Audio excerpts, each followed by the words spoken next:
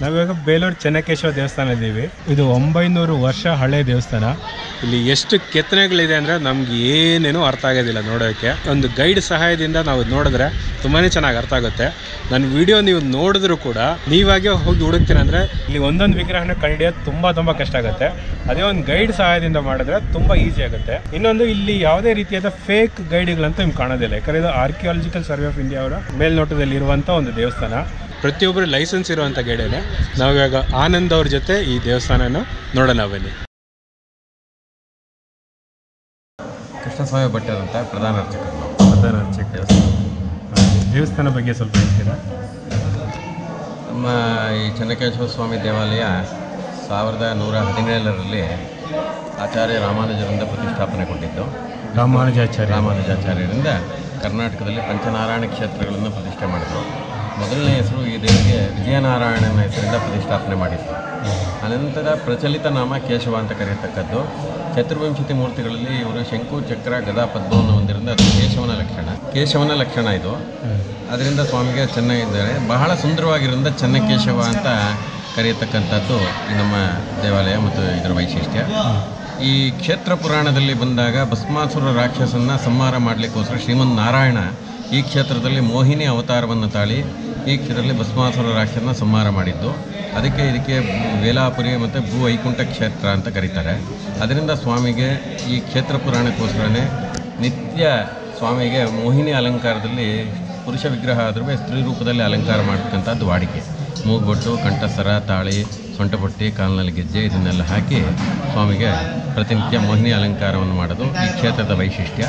ಇದು ಶ್ರೀ ಪಾಂಚರಾತ್ರ ಆಗಮದ ಪ್ರಕಾರ ಎಲ್ಲ ಪೂಜಾ ವಿಧಿವಿಧಾನಗಳು ಈ ದೇವಸ್ಥಾನದಲ್ಲಿ ನಡೆಯುತ್ತೆ. ಬ್ರಹ್ಮೋತ್ಸವ, ಮತ್ತು ನಿತ್ಯೋತ್ಸವ, ಪಕ್ಷೋತ್ಸವ, ಮಾಸೋತ್ಸವ ಎಲ್ಲ ಉತ್ಸವಗಳು ಆಗಮ ಪ್ರಕಾರದಲ್ಲಿ ನಡೆಯುತ್ತೆ. ನವರಾತ್ರಿಯಲ್ಲಿ ಒಂಬತ್ತು ದಿವಸ ಬಹಳ ವಿಶೇಷವಾಗಿ ಸ್ವಾಮಿಯನ್ನು ಪಟ್ಟದಲ್ಲಿ ಕೂರಿಸಿ ವಿಜಯದಶಮಿಗೆ ಅದನ್ನು ಪೂರ್ಣಾವತಿ ಮಾಡಿ ಪೂರ್ಣವಾಗಿರ್ತಕ್ಕಂಥದ್ದು ನಮ್ಮ ದೇವಾಲಯದ್ದು. ಅದೇ ರೀತಿ ಕಾರ್ತಿಕ ಮಾಸದಲ್ಲಿ ಲಕ್ಷದೀಪೋತ್ಸವ ಮಾಡ್ತೀವಿ ಪೌರ್ಣಿಮೆಗೆ. ಅದಾದ ನಂತರ ಧನುರ್ಮಾಸ ಒಂದು ತಿಂಗಳು ಬಹಳ ವಿಶೇಷ ಪೂಜೆ ಇರುತ್ತೆ. ಬೆಳಗಿನ ಜಾವದಲ್ಲಿ ವರ್ಷಕಾಲದ ಪೂಜೆಗಳು. ಸಂಕ್ರಾಂತಿ ದಿವಸ ಭಾಳ ಅದನ್ನು ಕಡೆಯದಾಗಿ ಆ ಒಂದು ವಿಶೇಷ ಪೂಜೆಗಳು ಕೊನೆಗೊಳ್ಳುತ್ತೆ. ಇತಿ ವರ್ಷ ಪೂರ್ತಿ ಎಲ್ಲ ಆಗಮೋಕ್ತ ಪೂಜೆಗಳು ಆಚಾರ್ಯ ರಾಮಾನುಜರ ಕಾಲದಿಂದಲೂ ಈ ದೇವಾಲಯದಲ್ಲಿ ಅನೂಚಾನವಾಗಿ ನಡ್ಸ್ಕೊಂಡು ಬರ್ತಾ ಇದ್ದೀವಿ. ನಮ್ಮ ಈ ದೇವಾಲಯಕ್ಕೆ ಹೆಚ್ಚಿನ ಮನೆ ದೇವರು, ಭಕ್ತಾದಿಗಳು ತುಂಬ ಇದ್ದಾರೆ. ಈ ಚೆನ್ನಕೇಶ್ವರ ಸ್ವಾಮಿ ಇಡೀ ಕರ್ನಾಟಕ ರಾಜ್ಯದಲ್ಲಿ ಎಲ್ಲರಿಗೂ ಮನೆ ದೇವರಾಗಿ ತುಂಬ ಎಲ್ಲ ಎಲ್ಲೂ ಹಮ್ಮಿಕೊಂಡಿದ್ದಾರೆ ನಮ್ಮ ಭಕ್ತರು. ಆ ರಥೋತ್ಸವ ಸಮಯ ಮತ್ತು ಶ್ರಾವಣ ಮಾಸದಲ್ಲಿ ಪ್ರತಿ ವರ್ಷ ಅವರೆಲ್ಲ ಬಂದು ಈ ಸ್ವಾಮಿಗೆ ಹರಕೆ, ಸೇವೆ ಪೂಜಾದಿಗಳನ್ನು ಮಾಡ್ಕೊಂಡು ಹೋಗೋದು ಈ ಒಂದು ವೈಶಿಷ್ಟ್ಯವಾಗಿದೆ. ಮತ್ತು ಪ್ರವಾಸಿ ಕೇಂದ್ರದಲ್ಲೂ ಸಹ ಮುಂಚೂಣಿಯಲ್ಲಿದೆ. ಹಳೇಬೀಡು ಮತ್ತು ಬೇಲೂರು ಬಹಳ ಶಿಲ್ಪಕಲೆಗಳಿಗೆ ಪ್ರಸಿದ್ಧವಾಗಿದ್ದು, ಪ್ರವಾಸಿಗರನ್ನು ಬಹಳ ಗಮನ ಸೆಳೆದು ಅವರು ಸಹ ಬರ್ತಾ ಇದ್ದಾರೆ. ಅದೇ ಮಟ್ಟಕ್ಕೆ ಭಕ್ತಾದಿಗಳು ಸಹ ಈ ದೇವಾಲಯಕ್ಕಿದ್ದು, ಪ್ರವಾಸಿಗರು ಮತ್ತು ಭಕ್ತರು ಎರಡೂ ಇರತಕ್ಕಂಥ ದೇವಾಲಯ ಇದು. ಇದೊಂದು ಬಹಳ ವಿಶೇಷವಾದ ಸಂಗತಿ. ಅದನ್ನು ಪ್ರತಿನಿತ್ಯ ಮುನ್ನೂರ ಅರವತ್ತೈದು ದಿವಸ ಸಹ ಇಲ್ಲಿ ಭಕ್ತರ ಸಂಖ್ಯೆ ಮತ್ತು ಪ್ರವಾಸಿಗರ ಸಂಖ್ಯೆ ಇರುತ್ತೆ. ಇತ್ತೀಚೆಗೆ ದೇವಾಲಯದ ವತಿಯಿಂದ ಒಂದು ನಾಲ್ಕು ಐದು ವರ್ಷಗಳ, ಆರು ವರ್ಷಗಳಿಂದ ಅನ್ನದಾಸೋಹ ಕಾರ್ಯಕ್ರಮ ಕೂಡ ಹಮ್ಮಿಕೊಂಡಿದ್ದೀವಿ. ಮಧ್ಯಾಹ್ನದ ಹೊತ್ತಿನಲ್ಲಿ ಬಂದಂಥ ಭಕ್ತಾದಿಗಳಿಗೆ ಒಂದು ಗಂಟೆಯಿಂದ ಮೂರು ಗಂಟೆವರೆಗೆ ಅನ್ನದಾನ ಕಾರ್ಯಕ್ರಮ ಸುರ ನಡೀತಾ ಇದೆ. ಇದನ್ನು ಮುಂದಿನ ಅವಧಿಯಲ್ಲಿ ರಾತ್ರಿಗೂ ಸಹ ವಿಸ್ತರಿಸಬೇಕು ಅನ್ನೋ ಇದಿದೆ. ಅದು ಸ್ವಲ್ಪ ಹಣಕಾಸಿನ ವಿಚಾರದಲ್ಲಿ ಮಟ್ಟ ಸ್ವಲ್ಪ ನಮ್ಮ ದೇವಾಲಯಕ್ಕೆ ಇನ್ನೂ ಕಮ್ಮಿ ಇದೆ. ಭಕ್ತರು ಇನ್ನೂ ಹೆಚ್ಚಿನ ಸಂಖ್ಯೆಯಲ್ಲಿ ದೇಣಿಗೆಯನ್ನು ನೀಡಿ ಮಾಡಿದ್ರೆ ರಾತ್ರಿಯೂ ಸಹ ಮಾಡಬೇಕು ಅನ್ನೋ ಒಂದು ಈ ಹಂಬಲ ಇದೆ ನಮ್ಮ ದೇವಾಲಯಕ್ಕೆ. ಈ ಎಲ್ಲ ವಿಚಾರದಲ್ಲೂ ಭಕ್ತರು ಬಂದು ಚೆನ್ನಕೇಶವನ ಸಾನ್ನಿಧ್ಯದಲ್ಲಿ ದರ್ಶನವನ್ನು ಮಾಡಿ, ನಮ್ಮ ದಾಸೋಹದಲ್ಲಿ ಪ್ರಸಾದ ಸ್ವೀಕಾರ ಮಾಡಿ, ಭಗವಂತನ ಕೃಪೆಗೆ ಪಾತ್ರರಾಗಬೇಕು. ಬೇಲೂರಿನ ಭಾಳ ಪ್ರಮುಖವಾದ ಇದನ್ನು ನಮ್ಮ ವಿದೇ ದೇಶ ವಿದೇಶಗಳಿಂದ ಎಲ್ಲ ಬಂದು ಈ ಒಂದು ಸೌಂದರ್ಯವನ್ನು ಸವಿತಾ ಇದ್ದಾರೆ. ಕರ್ನಾಟಕದಲ್ಲಿ ಮತ್ತು ಇತರೆ ಭಾರತದಲ್ಲಿ ಎಲ್ಲರೂ ಬಂದು ಇದನ್ನು ಸವಿಬೇಕು ಅಂತೇಳಿ ನಾವು ಈ ಮೂಲಕ ನಿಮ್ಮ ಇದರಲ್ಲಿ ಪ್ರಧಾನ ಅರ್ಚಕರಾಗಿ ಎಲ್ರಿಗೂ ಒಂದು ಮನವಿಯನ್ನು ಸಲ್ಲಿಸ್ತಾ ಇದ್ದೀವಿ. ಆನಂದ್. ಎಲ್ಲ approved okay monument archaeology and tourism department okay licence licence ಉಂಟು. ಹಾಂ ಸರ್. ಇದು ಸೆಂಟ್ರಲ್ ಮಾನ್ಯುಮೆಂಟಿಂದ ಯಾರನ್ನೂ ಹೊರಗಡೆ ಬಿಡಲ್ಲ. Okay licence ಯಾರಿರುತ್ತೋ. ಟ್ರೈನಿಂಗ್ ಆಗಿತ್ತು ಅವ್ರು ಮಾತ್ರ ಇಲ್ಲಿ. ಅಲೋ ನಾವೇನು ಹೇಳ್ತೀವಿ ಇಲ್ಲಿ ಆರ್ಕಿಯಾಲಜಿ ಪೋರ್ಟ್ ಏನು ಹೇಳುತ್ತೋ ಅದರ ಆಧಾರದ ಮೇಲೆ ಸಂಖ್ಯೆಗಳನ್ನೆಲ್ಲ ಹೇಳ್ತೀವಿ. ಓಕೆ ಕೆಲವು ಕವಿಗಳ ಹೋಲಿಕೆ ಇದೆ. ಹಾಂ ಹಾಂ. ಇನ್ನು ಕೆಲವಕ್ಕೆ ಇನ್ಸ್ಕ್ರಿಪ್ಷನ್ಸ್ ಇದೆ. ಅದರ ಆಧಾರದ ಮೇಲೆ ಇರುತ್ತೆ. ಓಕೆ ಓಕೆ ಮತ್ತು ಇತಿಹಾಸ ಅಂದರೆ ಸ್ವಲ್ಪ ಎರಡೂ ಇರುತ್ತೆ ಏನು ಮಾಡೋಕ್ಕೆ ಹಾಂ ಸ್ವಲ್ಪ ಆ ಕಡೆ ಈ ಕಡೆ ಇದ್ದೇ ಇರುತ್ತೆ. ಒಬ್ಬೊಬ್ರು ಬರೆದಿರೋ ಬುಕ್ ಮೇಲೆ ಡಿಪೆಂಡ್ ಆಗುತ್ತೆ ಆದರೆ ಇಲ್ಲಿ ಶಾಸನಗಳು ಏನಿದೆ ನೂರ ಒಂಬತ್ತು ಶಾಸನ ಇದೆ. ಅವುಗಳನ್ನ ಆಧರಿಸಿ ಆದಷ್ಟು ಅದಕ್ಕೆ ಹತ್ತಿರವಾಗಿರೋ ಹಾಗೆ ಓಕೆ ಬನ್ನಿ. ಸರ್. ಸರ್ ಇದು ಬಂದು ವಿಷ್ಣು ದೇವಸ್ಥಾನ ಚನ್ನಕೇಶವ ಸ್ವಾಮಿ ಅನ್ನೋ ಹೆಸರಿನಲ್ಲಿ ಕರಿತೀವಿ. ಹ್ಞೂ ಅದರ ವಿಗ್ರಹದ ಹೆಸರು ಪೀಠದ ಇರೋದು ವಿಜಯನಾರಾಯಣ ಅಂತ. ಓ. ಸಾವಿರದ ನೂರ ಹದಿನೇಳನೇ ಇಸ್ವಿ. ಅಂದರೆ ಹನ್ನೆರಡನೇ ಶತಮಾನದಲ್ಲಿ ಯುದ್ಧ ಆಗುತ್ತೆ. ನಮ್ಮ ತಲಕಾಡಿನ ಊರು ಬರುತ್ತಲ್ಲ ಸರ್ ಮೈಸೂರು ಹತ್ರ ಅಲ್ಲಿ ಕರ್ನಾಟಕದ ಹೊಯ್ಸಳರಿಗೆ ತಮಿಳ್ನಾಡು ಚೋಳರಿಗೆ. ಆ ಯುದ್ಧದಲ್ಲಿ ಹೊಯ್ಸಳರು ಚೋಳರನ್ನು ಸೋಲಿಸ್ತಾರೆ. ಆ ಯುದ್ಧದಲ್ಲಿ ಗೆದ್ದ ಸಂಕೇತವಾಗಿ ಈ ದೇವಸ್ಥಾನ ಕಟ್ಟಿದ್ದಾರೆ. ಸೊ ಅದಕ್ಕೆ ಇವತ್ತಿಗೆ ವಿಗ್ರಹದ ಪೀಠದ ಮೇಲೆ ವಿಜಯನಾರಾಯಣ ಅಂತ ಇದೆ. ಅದು ಕರೆಯೋದು ಚೆನ್ನಕೇಶವ. ಅದು ಹೇಗೆ ಥರ ಚೆನ್ನಕೇಶವ? ಚೆನ್ನಕೇಶವದ ಲೋಕಲಲ್ಲಿ ಜನ ಆಮೇಲೆ ಕರೆಯೋಕೆ ಶುರುವಾಯಿತು ಓಕೆ ಚೆನ್ನ ಅಂದರೆ ಕನ್ನಡ ಭಾಷೆಯಲ್ಲಿ ಸುಂದರವಾಗಿರೋದು ಅಂದರೆ ಕೇಶವ ಅನ್ನೋದು ವಿಷ್ಣುವಿನ ಪ್ರಾರಂಭದ ಹೆಸರು. ಸೊ ಚೆನ್ನಕೇಶವ ಅಂದರೆ ಸುಂದರವಾದ ವಿಷ್ಣು. ಈ ದೇವಸ್ಥಾನ ಆರ್ಕಲ್ ಪ್ರಕಾರ ಹೋದರೆ ಒಂಬೈನೂರ ಎರಡನೇ ವರ್ಷ ನಡೀತಾ ಇದೆ. ಒಂಬೈನೂರ ಎರಡು ಸಾವಿರದ ನೂರ ಹದಿನೇಳು ಪ್ರಾರಂಭ. ಸಾವಿರದ ನೂರ ಹದಿನೇಳರ ಪ್ರಾರಂಭ ಆಗಿ ಸಾವಿರದ ಇನ್ನೂರ ಇಪ್ಪತ್ತರಲ್ಲಿ ಮುಕ್ತಾಯ ಆಗಿದೆ. ಸೊ ಅಲ್ಲಿ ಲೆಕ್ಕ ಹಾಕಿದ್ರೆ ನೂರ ಮೂರು ವರ್ಷಗಳು ಕಟ್ಟೋದಕ್ಕೆ ಹಿಡಿದಿದೆ ಅದ್ರಲ್ಲಿ ಒಬ್ಬನೇ ರಾಜ ಬರಲ್ಲ. ಮೂರು ರಾಜಗಳು ಬಂದು ಹೋಗ್ತಾರೆ ಹಾಗಾಗಿ ಮೂರು ತಲೆಮಾರುಗಳು ಅಂತ ಹೇಳ್ತೀವಿ. ವಿಷ್ಣುವರ್ಧನ ಮಹಾರಾಜ ನರಸಿಂಹ ಬಲ್ಲಾಳ ಮತ್ತು ವೀರ ಬಲ್ಲಾಳ. ಹ್ಞೂ ಹ್ಞೂ ಅಂದರೆ ಈ ದೇವಸ್ಥಾನ ಕಟ್ಟಿಸಿದ ಉದ್ದೇಶ ಸಾವಿರದ ನೂರ ಹದಿನೇಳರಲ್ಲಿ ಯುದ್ಧದಲ್ಲಿ ಗೆದ್ದ ಸಂಕೇತವಾಗಿ. ಇದೇ ದೇವಸ್ಥಾನ ಕಟ್ಟಿದಾಗ ಅದೇ ಟೈಮಲ್ಲಿ ಬೇರೆ ಕಡೆ ನಾಲ್ಕು ದೇವಸ್ಥಾನ ಕಟ್ತಾರೆ. ಒಟ್ಟು ಐದು ದೇವಸ್ಥಾನ ಕಟ್ತಾರೆ. ಪಂಚನಾರಾಯಣ ಗುಡಿಗಳು ಅಂತ. ಬೇಲೂರು ವಿಜಯನಾರಾಯಣ ಮೇಲುಕೋಟೆ ಚ ಚಲು- ಚಲುವನಾರಾಯಣ ತೊಂಡನೂರು ನಂಬಿನಾರಾಯಣ ಗದಗಲ್ಲಿ ವೀರನಾರಾಯಣ ತಲಕಾಡು ಕೀರ್ತಿನಾರಾಯಣ. ಇವೆರಡು ಮೂರನ್ನು ಸರಿ ಐದನ್ನು ಸೇರಿಸಿ ಪಂಚನಾರಾಯಣ ಗುಡಿಗಳು. ಅಲ್ಲಿ ಸಿಕ್ಕಿರೋ ಶಾಸನಗಳು ಇದನ್ನೇ ಹೇಳುತ್ತೆ. ಹಾಗಾಗಿ ಪಂಚನಾರಾಯಣ ಗುಡಿಗಳು ಅಂತ. ಓಕೆ ವಿಷ್ಣುವರ್ಧನ ಮಹಾರಾಜ ದೇವಸ್ಥಾನ ಕಟ್ಟೋದಕ್ಕೆ ಬಳಸಿರೋ ಕಲ್ಲು ಬಳಪದ ಕಲ್ಲು ಸೋಪ್ ಸ್ಟೋನ್ ಅಂತ. ಇದು ಸ್ವಾಭಾವಿಕವಾಗಿ ಭೂಮಿಯಿಂದ ಹೊರಗಡೆ ತೆಗೆದಾಗ ಭಾಳ ಸ್ಮೂತ್ ಇದ್ದು ಕ್ರಮೇಣ ವಾತಾವರಣಕ್ಕೆ ಗಟ್ಟಿ ಆಗ್ತಾ ಬರುತ್ತೆ. ಆ ಸ್ಮೂತ್ ಇದ್ದಾಗ ನೋಡಿ ಈ ರೀತಿ ಕುಸಿರಿ ಕೆಲಸ ಮಾಡ್ಕೊಳ್ತಾರೆ. ದೇವಸ್ಥಾನ ಕಟ್ಟಿದ್ದಾರೆ ಅನ್ನೋಕ್ಕಿಂತ ಜೋಡಿಸಿರೋದು ಅಂತ ಹೇಳ್ಬೋದು. ಯಾಕೆಂದರೆ ಸಿಮೆಂಟು ಕಾಂಕ್ರೀಟು ಏನಿಲ್ಲ. ಕಲ್ಲಿಗೆ ಕಲ್ಲನ್ನ ಒಳಗಡೆ ಲಾಕ್ ಮಾಡಿದ್ರು ಇಂಟರ್ಲಾಕ್ ಸಿಸ್ಟಮ್ ಸುಮಾರು ಹತ್ತು ಸಾವಿರದ ಮೇಲೆ ವಿಗ್ರಹಗಳಿದೆ ಅಂತ ಇಲಾಖೆ ಹೇಳುತ್ತೆ. ಇದೊಂದು ದೇವಸ್ಥಾನ ಸಣ್ಣದು ದೊಡ್ಡದು ಎಲ್ಲ ಅನಿಸ್ತದೆ ಸೊ ಇದೊಂದು ಕಲೆಯ ಸಾಗರ ಸಮುದ್ರ ಇದ್ದಾಗೆ ನಾವು ಏನೇ ಮುಕ್ಕಾಲು ಗಂಟೆಯಲ್ಲಿ ತೋರಿಸಿದ್ರು ಒಂದು ಸಣ್ಣ ಪರಿಚಯ ಅಷ್ಟೇ ಇದು. ಹೈಲೈಟ್ಸ್ ಇದ್ದಾಗೆ ಅದಕ್ಕೆ ವಯಸ್ಸಾದವರು ಸುತ್ತಮುತ್ತ ಇರೋ ಜನ ಹಳೆ ಕಾಲದ ಜನ ಗಾದೆ ಹೇಳ್ತಾರೆ ಲೋಕಲಲ್ಲಿ ಬೇಲೂರು ನೋಡಬೇಕಂದ್ರೆ ಬೇರೂರು ಬೇಕು ಅಂತ. ಹಾಗಾಗಿ. ಅಂದರೆ ಇಲ್ಲೇ ಬೇಕು. ಹಾಗಾಗಿ. ಬಟ್ ಅದರಲ್ಲೊಂದು ಸಣ್ಣ ಪರಿಚಯ. ಮತ್ತು ಇದು ಇವತ್ತಿಗೂ ಪೂಜೆ ಇರೋ ದೇವಸ್ಥಾನ. ಅದಕ್ಕೆ ನೋಡಿ ಕಂಬ ಇಟ್ಟಿರ್ತಾರೆ. ಧ್ವಜಸ್ತಂಭ ಅಥವಾ ಗರುಡಗಂಬ ಅಂತ. ಪೂಜೆ ಇದ್ರೆ ಕಂಬ ಇದೆ. ಇದು ಕಂಬ ಇದ್ರೆ ಪೂಜೆ. ಪೂಜೆ. ಪೂಜೆ ಇಲ್ಲ ಅಂದ್ರೆ ಅದು ಸ್ಮಾರಕ ಇದ್ದಾಗೆ. ಒಂದು ಮಾನ್ಯುಮೆಂಟ್ ಇದ್ದಾಗೆ. ನೀವು ಹಳೆಬೀಡಿಗೆ ಹೋದ್ರೆ ಅಲ್ಲಿ ಅಧಿಕೃತವಾಗಿ ಪೂಜೆ ಇಲ್ಲ. ಅಂದ್ರೆ ಒಂದು ಊರಿನವ್ರು ಟ್ರಸ್ಟ್ ಅಂತ ಮಾಡ್ಕೊಂಡು ಪೂಜೆ ಮಾಡ್ತಾರೆ. ಅಲ್ಲಿ ಇದು ಗೌರ್ಮೆಂಟಿಂದಲೇ ಪೂಜೆ ಇದೆ ಮೊದಲಿಂದಲೂ ಅಂದ್ರೆ ಇಲ್ಲಿ ಅಟ್ಯಾಕ್ ಆತರ ಏನೋ ದಾಳಿ ಅಟ್ಯಾಕ್ ಆಗಿಲ್ಲ. ಯಾಕಂದ್ರೆ ಹಳೆ ಬಿಡು ರಾಜಧಾನಿ ಹಾಗಾಗಿ ದಾಳಿ ಆಯಿತು. ಇದನ್ನ ಅಂದ್ರೆ ಕೆಲವು ದಂತಕತೆ ಮರಳಿಂದ ಮುಚ್ಚಿದ್ರು ಹಾಗಾಗಿ ಶತ್ರುಗಳಿಗೆ ಕಾಣಲಿಲ್ಲ ಹೋಯ್ತು ಅಂತ ಹೇಳ್ತಾರೆ. ಬಟ್ ಇದಕ್ಕೆಲ್ಲ ಎವಿಡೆನ್ಸ್ ಇಲ್ಲ. ಎವಿಡೆನ್ಸ್ ಇಲ್ಲ. ಬಟ್ ಇಲ್ಲಿ ದಾಳಿ ಆಗಿಲ್ಲ ಅಂತ ನಿಖರವಾಗಿ ಹೇಳ್ಬೋದು. ಆದ್ರೆ ಇಲ್ಲೂ ಕೂಡ ಸಣ್ಣ ಪುಟ್ಟ ವಿಗ್ರಹಗಳು ಕಳ್ತನ ಆಗಿರೋದು ವಿಗ್ರಹಗಳ ಕೈ ಕಾಲು ಮುರಿದು ಹಾಕಿರೋದೆಲ್ಲ ನೋಡ್ಬೋದು. ಇದೆಲ್ಲ ಹಾಗಿರೋದು ಕಳ್ಳರಿಂದ ರಕ್ಷಣೆ ಇಲ್ಲದ ಕಾಲದಲ್ಲಿ. ಸಾವಿರದ ಒಂಬೈನೂರ ಐವತ್ತೆರಡರಿಂದ ಈಚೆಗೆ ಭಾರತೀಯ ಪುರಾತತ್ವ ಇಲಾಖೆ ಇದನ್ನು ಸ್ಮಾರಕ ಅಂತ ಕನ್ಸಿಡರ್ ಮಾಡಿ ಇದಕ್ಕೆಲ್ಲ ರಕ್ಷಣೆ ಇದೆ. ಇಡೀ ದೇವಸ್ಥಾನನ ಹತ್ತು ವರ್ಷಕ್ಕೊಮ್ಮೆ ಕೆಮಿಕಲ್ ಟ್ರೀಟ್ಮೆಂಟ್ ಅಂತ ಮಾಡ್ತಾರೆ. ಆ ಕೆಮಿಕಲ್ ಟ್ರೀಟ್ ಮಾಡಿ ಅದಕ್ಕೆ ಪ್ರಿಸರ್ವ್ ಕೋಟಿಂಗ್ ಅಂತ ಮಾಡಿ ಇದನ್ನು ಮಳೆ ಗಾಳಿಯಿಂದ ರಕ್ಷಣೆ ಮಾಡ್ತಾ ಇದ್ದಾರೆ. ಈಗೆಲ್ಲ ಸೆಕ್ಯೂರಿಟಿ ಇದೆ. ಇಲ್ಲಿ ಗರುಡನ ವಿಗ್ರಹ ಇದೆ. ಬನ್ನಿ ಗರುಡ ಬಂದು ವಿಷ್ಣುಗೆ ವಾಹನ. ಹಾಗಾಗಿ ಗರುಡ ಇದೆ. ನಾವು ಶಿವನ ದೇವಸ್ಥಾನಕ್ಕೆ ಹೋದ್ರೆ ಅಪೋಸಿಟ್ ಆಪೋಸಿಟಲ್ಲಿ ನಂದಿನ ನೋಡ್ತೀವಿ. ಹೌದು. ಬಟ್ ಇದು ಇತ್ತೀಚೆಗೆ ಮಾಡಿರೋದು. ಬನ್ನಿ ಸರ್ ಹೆಸರಿದೆ ನೋಡಿ. ಶಿಲ್ಪಿ ಜವರಾಚಾರ್ಯ ಮೈಸೂರು ಅಂತ. ಹೌದು. ಹಳೇದು ವಿಗ್ರಹ ಇದ್ದಿದ್ದು ಹಾಳಾದ್ಮೇಲೆ ಇದನ್ನ ಮತ್ತೆ ರೀಪ್ಲೇಸ್ ಮಾಡಿದ್ದಾರೆ. ಮರು ಜೋಡಣೆ ಮರುಜೋಡಣೆ ಮಾಡಿದ್ದಾರೆ. ಆಯಿತು. ಹಳೇದು ಹಳೆ ಆದತ್ತು ಅನ್ನೋ ಕಾರಣಕ್ಕೆ ಮತ್ತೆ ನೋಡಿ ನಾವು ದೇವಸ್ಥಾನ ಕಟ್ಟಿದಾಗ ಬಳಕೆಯಲ್ಲಿ ಇದ್ದಿದ್ದು ಹಳೆಗನ್ನಡ. ಇಲ್ಲಿದೆ. ಹೌದು ಹಾಂ. ಇದು ಹಳೆಗನ್ನಡ ಶಾಸನ. ಹ್ಞೂ ಹ್ಞೂ ಅಂದರೆ ಇದೆಲ್ಲ ನಾವು ಆ, ಇತಿಹಾಸ ದೇವಸ್ಥಾನಕ್ಕೆ ಸಂಬಂಧಪಟ್ಟಂತೆ ರಾಜುಗಳು ಏನು ಸಾಧನೆ ಮಾಡಿದ್ರು ಅವುಗಳನ್ನು ಆಧರಿಸಿ ಹೇಳಿ ಹ್ಞೂ ಈ ಥರದ ನೂರ ಒಂಬತ್ತು ಶಾಸನಗಳ ಮೇಲೆ ನಾವು ನಿಮಗೆ ಇತಿಹಾಸ ಅದನ್ನೇ ಹೇಳೋದು ಸೊ ಇದರಲ್ಲಿ ಕೆತ್ತನೆ ಮಾಡಿದ ಶಿಲ್ಪಿಗಳು ಸಾವಿರಾರು ಜನ ಆದರೆ ನಾವು ಅದರಲ್ಲಿ ಮುಖ್ಯ ಶಿಲ್ಪಿ ಅಂತ ಕರೆಯೋದು ಜಕಣಾಚಾರಿಗಳನ್ನು. ಜಕಣಾಚಾರಿಗಳು ಮೇನ್ ಲೀಡರ್ ಅಷ್ಟೇ. ಅವ್ರ ಜೊತೆ ದಾಸೋಜ ನಾಗೋಜ ಮಲ್ಲೋಜ ಮಲ್ಲಿತಮಣ್ಣ ಚಿಕ್ಕಂಪ ಚಾವಣ ಮಹಿಣ ಈಗೆಲ್ಲ ಬರ್ತಾರೆ. ಎಲ್ಲ ಕರ್ನಾಟಕದವರು. ಕೆಲವು ಶಿಲ್ಪಿಗಳು ಗದಗ ಜಿಲ್ಲೆಯಿಂದ ಬಂದವರು ಕೆಲವರು ಶಿವಮೊಗ್ಗ ಜಿಲ್ಲೆಯಿಂದ ಬಂದರು. ಶಿವಮೊಗ್ಗ ಜಿಲ್ಲೆ ಬಂದು ಶಿಕಾರಿಪುರ ತಾಲೂಕಿನಲ್ಲಿ ಬಳ್ಳಿಗಾವೆ ಅಂತ ಬರ್ತಾರೆ ಅಲ್ಲಿಂದ ಬಂದರು ಸರ್ ಇದು ಶಿಖರ ಅಂತ. ನೀವು ಸಾಮಾನ್ಯವಾಗಿ ನಾರ್ತ್ ಇಂಡಿಯಾದಲ್ಲಿ ಟೆಂಪಲ್ಗಳ ಮೇಲೆ ಈ ಥರ ಕಟ್ಟಿರ್ತಾರೆ. ನೋಡಿದ್ದೀರಾ? ಹೌದು. ಪೂರಿ ಜಗನ್ನಾಥ್ ಕೋನಾರ್ಕ್. ಅದೇ ಸೌತ್ ಇಂಡಿಯಾದಲ್ಲಿ ಬಂದರೆ ಈ ಥರ ಸ್ಟೈಲು ದಕ್ಷಿಣ ಭಾರತ ದ್ರಾವಿಡ ಶೈಲಿ. ದ್ರಾವಿಡ ಶೈಲಿ. ಗೋಪುರ ಗೋವು ಅಂದರೆ ಹಸು ಹಿಂದೂಗಳಿಗೆ ಪವಿತ್ರವಾದ ಪ್ರಾಣಿ. ಸೊ ಎರಡೂ ಕಡೆ ನೋಡಿ ಹಸುವಿನ ಕೊಂಬುಗಳ ಥರ ಇದೆ. ಪುರ ಅಂದರೆ ಊರು ಅಥವಾ ಜಾಗದ ಹೆಸರು ಗೋಪುರ ಅಂದರೆ ಪವಿತ್ರವಾದ ಕ್ಷೇತ್ರ. ಕೃಷ್ಣದೇವರಾಯರು ಕಟ್ಸಿರೋದು. ಗೋಪುರದಲ್ಲಿ ಶಿಲ್ಪಕಲೆ ಇದೆ ಬಟ್ ಈ ಥರ ಕಲೆ ಇಲ್ಲ. ಜಸ್ಟ್ ಒಂದು ಬ್ರೀಫಾಗಿ ತೋರಿಸಿ ತೋರಿಸ್ತೀನಿ ಸರ್ ಆದರೆ ಬೇಲೂರನ್ನ ನೋಡಬೇಕಾದ್ರೆ ಶಿಲಾಬಾಲ್ಕೆರೆ ಮೈನ್ ಅಟ್ರಾಕ್ಷನ್ ನಲವತ್ತೆರಡು ಶಿಲಾಬಾಲ್ಕೆರೆ ಮದನಿಕೆಯರು ಅಪ್ಸರೆಯರು ಅಂತ ಹೇಳಿ ಕರೀತಾರೆ. ಹೌದು. ಸರ್ ಇದು ಹೊಯ್ಸಳರಿಗೆ ಲಾಂಛನ ರಾಜಮುದ್ರೆ. ಸಳ ಸಿಂಹನ ಕೊಲ್ತಿರೋದು. ಹ್ಞೂ ಹೌದು. ಸಳ ಅನ್ನೋದು ಒಬ್ಬ ಬಾಲಕನ ಹೆಸರು. ಸಳ ಅನ್ನೋ ಬಾಲಕನಿಂದ ಈ ಹೊಯ್ಸಳ ವಂಶ ಪ್ರಾರಂಭ ಆಗಿದ್ದು. ಸೊ ಮೂಲ ಪುರುಷ ಯಾರು ಅಂದರೆ ಸಳ ನೀವು ಕೇಳಿರ್ತಾರೆ ಸಾಮಾನ್ಯ ಹೌದು. ಆ ಘಟನೆ ಅವತ್ತಿನ ಕಾಲದಲ್ಲಿ ನಡೆದಿದ್ದು ಇಲ್ಲಿಂದ ಇಪ್ಪತ್ತೆರಡು ಕಿಲೋಮೀಟ್ರ್ ದೂರ ಅಂಗಡಿಹಳ್ಳಿ ಅಂತ ಬರುತ್ತೆ ಅದು ಮೂಲ ಸ್ಥಳ. ಬನ್ನಿ ಸರ್.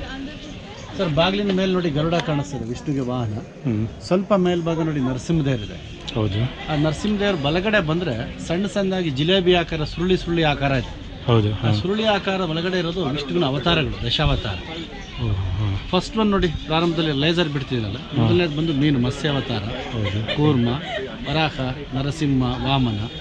ಪರಶುರಾಮ ಶ್ರೀರಾಮ ಕೃಷ್ಣ ಬೌದ್ಧ ಕಲ್ಕಿ. ಬಟ್ ಕಲ್ಕಿ ಅವತಾರ ಇನ್ನೂ ಆಗಬೇಕಾಗಿದೆ. ಆ ಸುರುಳಿಗಳ ಹಿಂಭಾಗದಲ್ಲಿ ನಮ್ಮ ಕೈ ಬೆರಳುಗಳನ್ನು ನುಸುಳಿಸ್ಬೋದು. ಹಿಂದೆ ಜಾಗ ಇದೆ. ಅಂದರೆ ಕಲ್ಲನ್ನು ಪೇಪರ್ ಕಟ್ ಮಾಡಿದಾಗ ಮಾಡಿದ್ದಾನೆ ಅಷ್ಟು ಸೂಕ್ಷ್ಮದ ಕೆತ್ತನೆಗೆ ಆದ್ಯತೆ ಕೊಟ್ಟಿರೋದು. ಹಾಗೆ ನೀವು ಎಲ್ಲ ಕಡೆ ನೋಡಿದಾಗ ಇಲ್ಲೊಂದು ಪ್ರಾಣಿ ಇದೆ ಮಕರ ಅಂತ. ಏಳು ಪ್ರಾಣಿಗಳ ದೇಹದ ಒಂದೊಂದು ಭಾಗನ ಸೇರಿಸಿ ಪ್ರಾಣಿ ಮಾಡಿದ ಹಂದಿಯ ಶರೀರ ಸಿಂಹದ ಪಾದ ಮೊಸಳೆಯ ಬಾಯಿ ಆನೆಯ ಸೊಂಡಿಲು ಕೋತಿಯ ಕಣ್ಣು ಹಸೂತರ ಕಿವಿ ಬಾಲ ಬಂದು ನವಿಲಿಂದು ಅಲಂಕಾರಕ್ಕೆ. ಅಷ್ಟೆಲ್ಲ ಮಾಡಿರೋದು ಏಕಶಿಲೆ ಒಂದೇ ಕಲ್ಲ ಸಾಮಾನ್ಯವಾಗಿ ವಯಸ್ಸಲ್ಲರು ಯಾವುದೇ ದೇವಸ್ಥಾನಕ್ಕೆ ಹೋದರೂ ಬಾಗಿಲಿನ ಇದೇ ರೀತಿ ಅಲಂಕಾರ ಮಾಡ್ತಾರೆ ಮಕರ ತೋರಣ. ಆದ್ರೆ ಬೇಲೂರು ದೇವಸ್ಥಾನದಲ್ಲಿ ತುಂಬ ಪ್ರಸಿದ್ಧವಾದ್ದು ಈ ರೀತಿ ಶಿಲಾಬಾಲ್ಕಿರ್ ಅಂತ. ಈ ಮದನೇಕೆರೆಯಲ್ಲಿ ಮೊದಲನೇ ಬೊಂಬೆನ ನೀವು ಹೆಚ್ಚು ಪೇಪರ್ ಜಾಹೀರಾತು ಟಿ ವಿನಲ್ಲಿ ನೋಡಿರ್ತೀರ? ದರ್ಪಣ ಸುಂದರಿ ಅಂತ ಹೆಸರು. ದರ್ಪಣ ಅಂದರೆ ಕನ್ನಡಿ. ಸರ್ ಎಡಗನಲ್ಲಿ ಒಂದು ಕನ್ನಡಿ ಇದೆ ನೋಡಿ. ಹೌದು. ಅದಕ್ಕೆ ಸುತ್ತ ಫ್ರೇಮ್ ಇದೆ ಇಟ್ಕೊಳ್ಳೋ ಕ್ಲ್ಯಾಂಪ್ ಎಲ್ಲ ಇದೆ. ತನ್ನ ಸ- ಅಲಂಕಾರನ ಕನ್ನಡಿ ಮುಖಾಂತರ ಸುಂದರಿ ನೋಡ್ಕೋತಾ ಇರೋದು. ಹೌದು ದೊಡ್ಡ ತುರುಬಿದೆ ಕಿವಿಗೆ ಹೋಲೆ ಸೊಂಟು ಪಟ್ಟಿ ಕೊಳ್ಳ ನೆಕ್ಲೇಸು ಕಾಲಿ ಕಾಲ್ ಕಡಗ ತಲೆ ಮೇಲೆ ಬಿಡಿಸಿರೋ ಬಳ್ಳಿ ಕೆಲಸ ಎಲ್ಲ ನಾಜೂಕಾಗಿ ನಯವಾಗಿ ಬಿಡಿಸಿ ಮೇಲೆ ತೊಗೊಂಡೋಗಿ ಜೋಡಿಸಿ ಆ ಜೋಡಿಸುವಾಗ ಮೂವತ್ತರಿಂದ ನಲವತ್ತು ಡಿಗ್ರಿ ಓರೆ ಮಾಡಿ ನಿಲ್ಲಿಸಿರೋದು ಹ್ಞೂ ಇದು ಕರ್ನಾಟಕ ಟೂರಿಸಂ ಡಿಪಾರ್ಟ್ಮೆಂಟ್ಗೆ ಎಂಬ್ಲಮ್ ಕೂಡ ಕೆ ಎಸ್ ಡಿ ಡಿ ಸಿಗೆ. ಹಾಗಾಗಿ ಭಾಳ ಪ್ರಸಿದ್ಧವಾದ ಇದು ವಿಷ್ಣುನೇ ಶ್ರೀಧರ ಅಂತ ಹೇಳಿ ಕರೀತಾರೆ.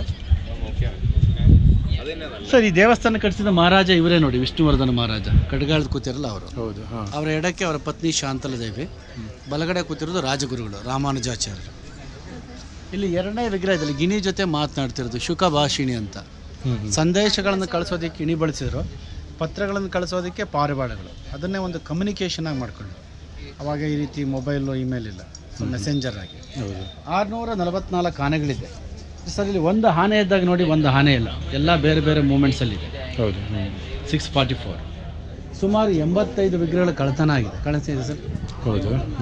ನೋಡಿ ಆರುನೂರ ಇಪ್ಪತ್ತು ಥರದ ಕೇಶ ವಿನ್ಯಾಸಗಳಿದೆ. ಹೆಣ್ಮಕ್ಳು ತಲೆ ಬಾಚ್ಕೋತಾರಲ್ಲ ಡಿಫ್ರೆಂಟ್ ಟೇಸ್ಟಲ್ಲಿ ಆರುನೂರ ಇಪ್ಪತ್ತು. ಇಪ್ಪತ್ತು. ಸಿಕ್ಸ್ ಹಂಡ್ರೆಡ್ ಆ್ಯಂಡ್ ಟ್ವೆಂಟಿ ಅದಕ್ಕಿಂತ ಜಾಸ್ತಿ ಇದೆ ಒಂದು ಅಂದಾಜು.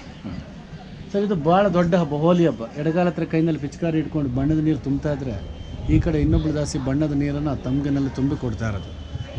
ಆ ಕೈನಲ್ಲಿ ವೇಲ್ ಥರದ ಬಟ್ಟೆ ಕೂಡ ಕಾಣಿಸ್ತದೆ ನೋಡಿ ದುಪ್ಪಟ ಅಂತ ಹೇಳ್ತಾರೆ ಹೌದು. ನೋಡ್ಬೋದು. ಮತ್ತು ಅದು ಕೀರವಾಣಿ ಅಂತ. ಆ ಪಕ್ಷಿ ತಂತ್ರ ಪತ್ರ ನಡಿಗೆನಲ್ಲಿ ಕೆತ್ತನೆ ಮಾಡಿದ್ದಾನೆ ಆ ಡ್ರೆಸ್ಗಳು ಕೆಲವು ಮಾಡ್ರನ್ ಡ್ರೆಸ್ಗಳೆಲ್ಲ ಒಂಬೈನೂರು ವರ್ಷಗಳಿಂದನೇ ಇತ್ತು ಅನ್ನೋಕೆ ತೋರಿಸಿದ್ದಾನೆ ಹಾಂ ಹಾಂ. ಹಳೇದೇ ಕೆಲವು ರಿಪೀಟ್ ಆಗ್ತಿದೆ ಅಂತ. ಹೌದು. ಈ ಬಾಗ್ ಬಾಕ್ಸಲ್ಲಿರೋದು ಮಹಾಭಾರತ ಕಥೆಗಳು ಭೀಮ ಆನೆಗಳನ್ನು ಚೆಂಡು ಎಸಿ ರೀತಿ ಎಸಿತಿರೋದು. ಭೀಮನಿಗೆ ಸಾವನ ಆನೆಗಳ ಬಲ. ಪಕ್ಕದಲ್ಲಿ ಭೀಷ್ಮಾಚಾರ್ಯರು ಬಾಣಗಳನ್ನು ಹಾಸಿಗೆ ಮಾಡ್ಕೊಂಡು ಮಲಗಿದ್ದಾರೆ. ಶರಶೈ ಈ ಕಥೆಗಳನ್ನು ಹಳೆ ಬಿಡಲಿ ಸ್ವಲ್ಪ ದೊಡ್ಡದಾಗಿ ಮಾಡಿ ತೀನಾಗಿ ತೋರಿಸ್ತಾರೆ. ಬಟ್ ಇಲ್ಲಿ ಶಿಲಾಬಾಲ್ಕಿಯರು ಬರುತ್ತೆ. ಅಲ್ಲಿ ಶಿಲಾಬಾಲ್ಕಿಯರು ಬರಲ್ಲ.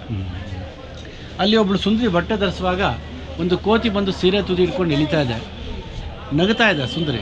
ಆ ಸುಂದರಿ ಸೋ ಕೋಪ ಬಂದು ಕೈನಲ್ಲಿ ಕೊಂಬೆ ಹಿಡ್ಕೊಂಡು ಹೋಗ್ತಾರೆ ಮಂಗ ನಗ್ತಾ ಇದೆ. ಅದರ ಹಲ್ಲುಗಳು ಸಮೇತ ಕಾಣಿಸ್ತಾ ಇದೆ ನೋಡಿ. ಸಣ್ಣ ಪುಟ್ಟದಾಗಿ. ಹೌದು. ಹಾಗೆ ಅಲ್ಲಿ ಶಿಲ್ಪಿ ಹೆಸರು ಬರ್ಕೊಂಡಿದ್ದಾರೆ ನೋಡಿ ಸರ್. ಪೀಠದ ಮೇಲೆ ತಮ್ಮ ಹೆಸರು ವಿಳಾಸ ಬರ್ಕೊಂಡಿರೋದು ಕಾಣಿಸ್ತಾ ಇದೆ ನೋಡಿ. ಹೌದು. ಯಾರು ಬರೆದಿದ್ದು ಅಂತ? ಆ ಸರಿ ಕೆತ್ತನೆ ಮಾಡಿದ್ದು. ಕೊನೆಯದು ನೋಡಿ ಸರ್. ಆ ಸುಂದರಿ ಕರ್ಲಿ ಹೇರ್ ಮಾಡ್ಕೊಂಡಿರೋದು ಕಾಣಿಸ್ತಾ ಇದೆ. ಹೌದು. ಬನ್ನಿ ಈ ತಲೆ ಕೂದಲಿನ ಎಳೆಗಳು ಹೇಗೆ ಕಾಣಿಸ್ತದೆ? ಸಣ್ಣ ಸಣ್ಣ ಗೆರೆಗಳು. ತಲೆ ಕೂದಲಿನ ಎಳೆಗಳು. ಸರ್ ತ್ರೀ ಡಿ ಎಫೆಕ್ಟ್ ಇದೆ. ಉದ್ದ ಅಗಲ ಆಳ ತ್ರೀ ಡೈಮೆನ್ಷನ್ ಕಲ್ಲನ್ನು ಪೇಪರ್ ಕಟ್ ಮಾಡಿದಾಗ ಮಾಡಿದ್ದಾರೆ. ಆದರೆ ಇದೆಲ್ಲ ನೋಡಿ ಸರ್ ಎಲ್ಲ ಕಲ್ಲು ಗಾಳಿ ಮಳೆಗೆ ಹಾತ ಹಾಳಾಗ್ತಿದೆ. ಇದನ್ನೆಲ್ಲ ಅವಾಯ್ಡ್ ಮಾಡಲಿಕ್ಕೆ ಹತ್ತು ವರ್ಷಕ್ಕೊಮ್ಮೆ ಕೆಮಿಕಲ್ ಟ್ರೀಟ್ಮೆಂಟ್ ಅಂತ ಮಾಡ್ತಾರೆ. ಎಲ್ಲ ಸುಮಾರು ಎರಡು ವರ್ಷಗಳಿಂದ ಕ್ಲೀನ್ ಮಾಡ್ತಾರೆ ಬನ್ನಿ ಸರ್. ಇದು ಕೇಶ ಶೃಂಗಾರಿ. ಆ ಸ್ನಾನ ಮಾಡ್ಕೊಂಡು ಜಡೆಯನ್ನು ಹಿಂಡಿ ನೀರು ತೆಗಿತಾರೆ ಆ ಜಡೆ ತುದಿನಲ್ಲಿ ನೋಡಿ ಸರ್ ನೀರಿನ ಹನಿಗಳದು ವಾಟರ್ ಡ್ರಾಪ್ಸ್ ಆ ಕೊಳ್ಳಲ್ಲಿ ನೆಕ್ಲೆಸ್ ಇದೆ. ನೆಕ್ಲೆಸ್ ಕಡೆ ಹಾರ ಇದೆಯಲ್ಲ ಹೌದು. ಹಾರಕ್ಕೆ ಸಣ್ಣ ಸಣ್ಣ ಮಣಿಗಳು ಬಿಡಿಸಿ ನೋಡಿ. ಸಣ್ಣ ಸಣ್ಣ ಮಣಿಗಳ ಸಮೇತ ಕಾಣಿಸ್ತಾ ಇದೆ ನೋಡಿ. ಹೌದು ಅದನ್ನೆಲ್ಲ ಕೆತ್ತನೆ ಮಾಡುವಾಗ ಒಂದು ಸಣ್ಣ ಮಿಸ್ಟೇಕ್ ಆದರೂ ಇಡೀ ವಿಗ್ರಹನ ಮೊದಲಿಂದ ಮಾಡಬೇಕಾಯ್ತು. ಅಂದ್ರೆ ಎಷ್ಟು ಪೇಷನ್ಸ್ ಇತ್ತು ಅಂತ. ಒಂದು ಸಣ್ಣ ಮಿಸ್ಟೇಕ್ ಅದು ಯೂಸ್ ಮಾಡ್ತಾ ಇನ್ನ ಜೋಡಿಸಾಗಿಲ್ಲ. ಹಂಗೆ ತ್ರಿಭಂಗ ನರ್ತನ ಈ ರೀತಿ ನಾಟ್ಯ ಮಾಡಬೇಕಂದ್ರೆ ತುಂಬಾನೇ ಬಾಡಿ ಸ್ಲಿಮ್ ಇರಬೇಕು ನಾಟ್ಯದಲ್ಲಿ ಎಕ್ಸ್ಪರ್ಟ್ ಇರಬೇಕು. ಯಾಕೆಂದ್ರೆ ಆ ಸುಂದರಿ ತನ್ನ ದೇಹನ ಮೂರು ಕಡೆ ತಿರುಗಿಸಿದಾಳೆ ಹೇಗೆ ಟ್ವಿಸ್ಟ್ ಮಾಡಿದಾಳೆ ಅಂದರೆ ಡೋಲಿಂದ ಕುತ್ತಿಗೆ ನೋಡಿ ಒಂದು ಭಂಗಿ ಕುತ್ತಿಗೆಯಿಂದ ಸೊಂಟ ಎರಡು ಸೊಂಟದಿಂದ ಪಾದ ಮೂರು. ಆ ಆಭರಣ ನೋಡಿ ಸರ್ ಎಷ್ಟು ನಯವಾಗಿದೆ ತುಂಬ ಸುಂದರವಾಗಿದೆ ಡೀಟೈಲ್ ಆಗಿ ಕಾಣಿಸ್ತಾ ಇದೆ ನೋಡಿ. ಹೌದು ದೊಡ್ಡ ದೊಡ್ಡ ಹಾರಗಳು. ಇದು ಕಪಾಲ ಭೈರವಿ ಶಿವನ ಹೆಂಡತಿ ಶಿಲಾಬಾಲ್ಕಿ ಎಲ್ಲ ಹಾಗಾಗಿ ಎಡಗನಲ್ಲಿ ಕೋಲಿದೆ ಕೋಲಿನ ಮೇಲೆ ಮನುಷ್ಯನ ತಲೆ ಬಿಡ ಇದೆ ನೋಡಿ ಸ್ಕಲ್ಲು ಹೌದು. ಮತ್ತು ಈ ಡೋಲಿ ಬಿಡಿಸಿದ ಹಗ್ಗ ನೋಡಿ ನಿಜವಾದ ದಾರನ ಕಟ್ಟಿದ್ದಾರೆ ಅನ್ನೋ ರೀತಿ ಕಾಣಿಸ್ತದೆ. ಆ ದಾರದ ಒಂದೊಂದು ಎಳೆಗಳು ಹಗ್ಗದ ಗಂಟು ಕೈಬೆರಳು ಉಂಗುರ ಎಲ್ಲ ಒಂದೇ ಕಲ್ಲನ್ನು ಮಾಡಿದೆ. ನಲವತ್ತೆರಡು ಬೊಂಬೆನಲ್ಲಿ ಮೊದಲನೇ ಗಂಡು ವಿಗ್ರಹ. ನೋಡೋದಕ್ಕೆ ಕೃಷ್ಣನ್ ಥರ ಕಾಣಿಸ್ತದೆ. ಕೊಳಲಿದೆ ಮೇಲೆ ಟೋಪಿ ಇದೆ. ಹಿಂದ್ಗಡೆ ನೋಡಿ ಹೇರ್ ಕಟ್ ಇಲ್ವಲ್ಲ ಸರ್? ಹೌದು. ಕಟ್ಟಿರೋದು ಸರ್? ಈ ಬಾಕ್ಸಲ್ಲಿ ನೋಡಿ ಸರ್ ಎರಡನೇ ವ್ಯಕ್ತಿ ಚಾಕು ಹಿಡ್ಕೊಂಡಿದ್ದಾನೆ ನೋಡಿ. ಆ ವ್ಯಕ್ತಿ ಹಾಕಿರೋ ಡ್ರೆಸ್ ನೋಡಿ ನೈಟ್ ಕೋಟ್ ಅಂತ ಗಂಡಸ್ರು ಹಾಕ್ತಾರೆ ನೈಟ್ ಡ್ರೆಸ್ ಇದೆ. ಹೌದು ಹಾಂ. ಎಲ್ಲ ಹಳೆ ಕಾಲದಲ್ಲಿ ಇದ್ದ ಕಾನ್ಸೆಪ್ಟ್ ಮತ್ತೆ ಬರ್ತಾ ಇದೆ. ನಿಜ. ಸಣ್ಣ ಮಕ್ಕಳು ಹಾಕೋತಾರೆ ಡ್ರೆಸ್ ಬಟ್ಟೆಗೆ ಡಿಸೈನ್ ಇದೆ. ಇದೆಲ್ಲ ಹಳೆ ಕಾಲದ ಸೀರೆಗಳಿಗೆ ಬಾರ್ಡರ್ ಬರುತ್ತಲ್ಲ ಲೇಸ್ ವರ್ಕ್ ಹೌದು ನೋಡಿ ಕೈ ಬೆರಳೆಲ್ಲ ಪಾಸ್ ಮಾಡ್ಬೋದು. ಅಷ್ಟು ಮೈನ್ಯೂಟ್ ವರ್ಕ್ ಇದೆ ಬನ್ನಿ. ಇದೊಂದು ತಮಾಷೆ ಅಷ್ಟೇ ಇದು. ಒಂದು ಗಂಡು ಮತ್ತು ಹೆಣ್ಣಿನ ವಿಗ್ರಹ ಇದೆ. ಆ ಸುಂದರಿಯ ಮುಖನ ಶಿಲ್ಪಿ ಕತ್ತೆ ಮಾದರಿಯಲ್ಲಿ ತೋರಿಸ್ಯಾನೆ. ಹದಿನಾರರಿಂದ ಹದಿನೆಂಟು ವರ್ಷ ಪ್ರಾಯದಲ್ಲಿದ್ದಾಗ ಏಜಲ್ಲಿ ಗಂಡು ಮಕ್ಕಳಿಗೆ ಕತ್ತೆ ಮುಖದ ಹೆಣ್ಣು ಸುಂದರಿಯಾಗಿ ಕಾಣಿಸ್ತಾಳೆ ಅಂತ ಸ್ವೀಟ್ ಸಿಕ್ಸ್ಟಿ. ಇದೆಲ್ಲ ಮತ್ತೆ ಮಹಾಭಾರತ ಕಥೆಗಳು. ಇಲ್ಲಿ ಎರಡೂ ಕೈನಲ್ಲಿ ತಾಳ ಆಗ್ತಾ ಹಾಡು ಹೇಳುವಾಗ ಎರಡು ತುಟಿ ಮಧ್ಯೆ ನೋಡಿ ಹಲ್ಲುಗಳ ಸಾಲು ಕಾಣಿಸ್ತದೆ. ಈ ವಿಗ್ರಹನ ಗಾನ ಮಂಜಿರ ಅಂತ ಹೇಳ್ತಾರೆ. ಗಾನ ಮಂಜಿ ಗಾನ ಮಂಜಿರ. ಗಾನ ಅಂದ್ರೆ ಹಾಡು ಹೇಳೋದು ಮಂಜಿರ ಅಂದ್ರೆ ತಾಳ. ಇಲ್ಲಿ ಬನ್ನಿ ಸರ್. ಸರ್ ನನ್ನ ಮಾವಿನ ಮೇಲೆ ಫಿಲಿಗ್ರಿ ವರ್ಕ್ ಇದೆಯಲ್ಲ ಪೇಪರ್ನಲ್ಲಿ ಕೂಡ ಕಟ್ ಮಾಡೋಕ್ಕಾಗಲ್ಲ. ಹೌದು ಅಷ್ಟು ಡಿಲಿಕೇಟ್ ಆಗಿದೆ. ಅಷ್ಟು ಸುಂದರವಾಗಿದೆ ಮತ್ತೆ. ಎರಡು ಲೇಯರ್ ಇದೆ.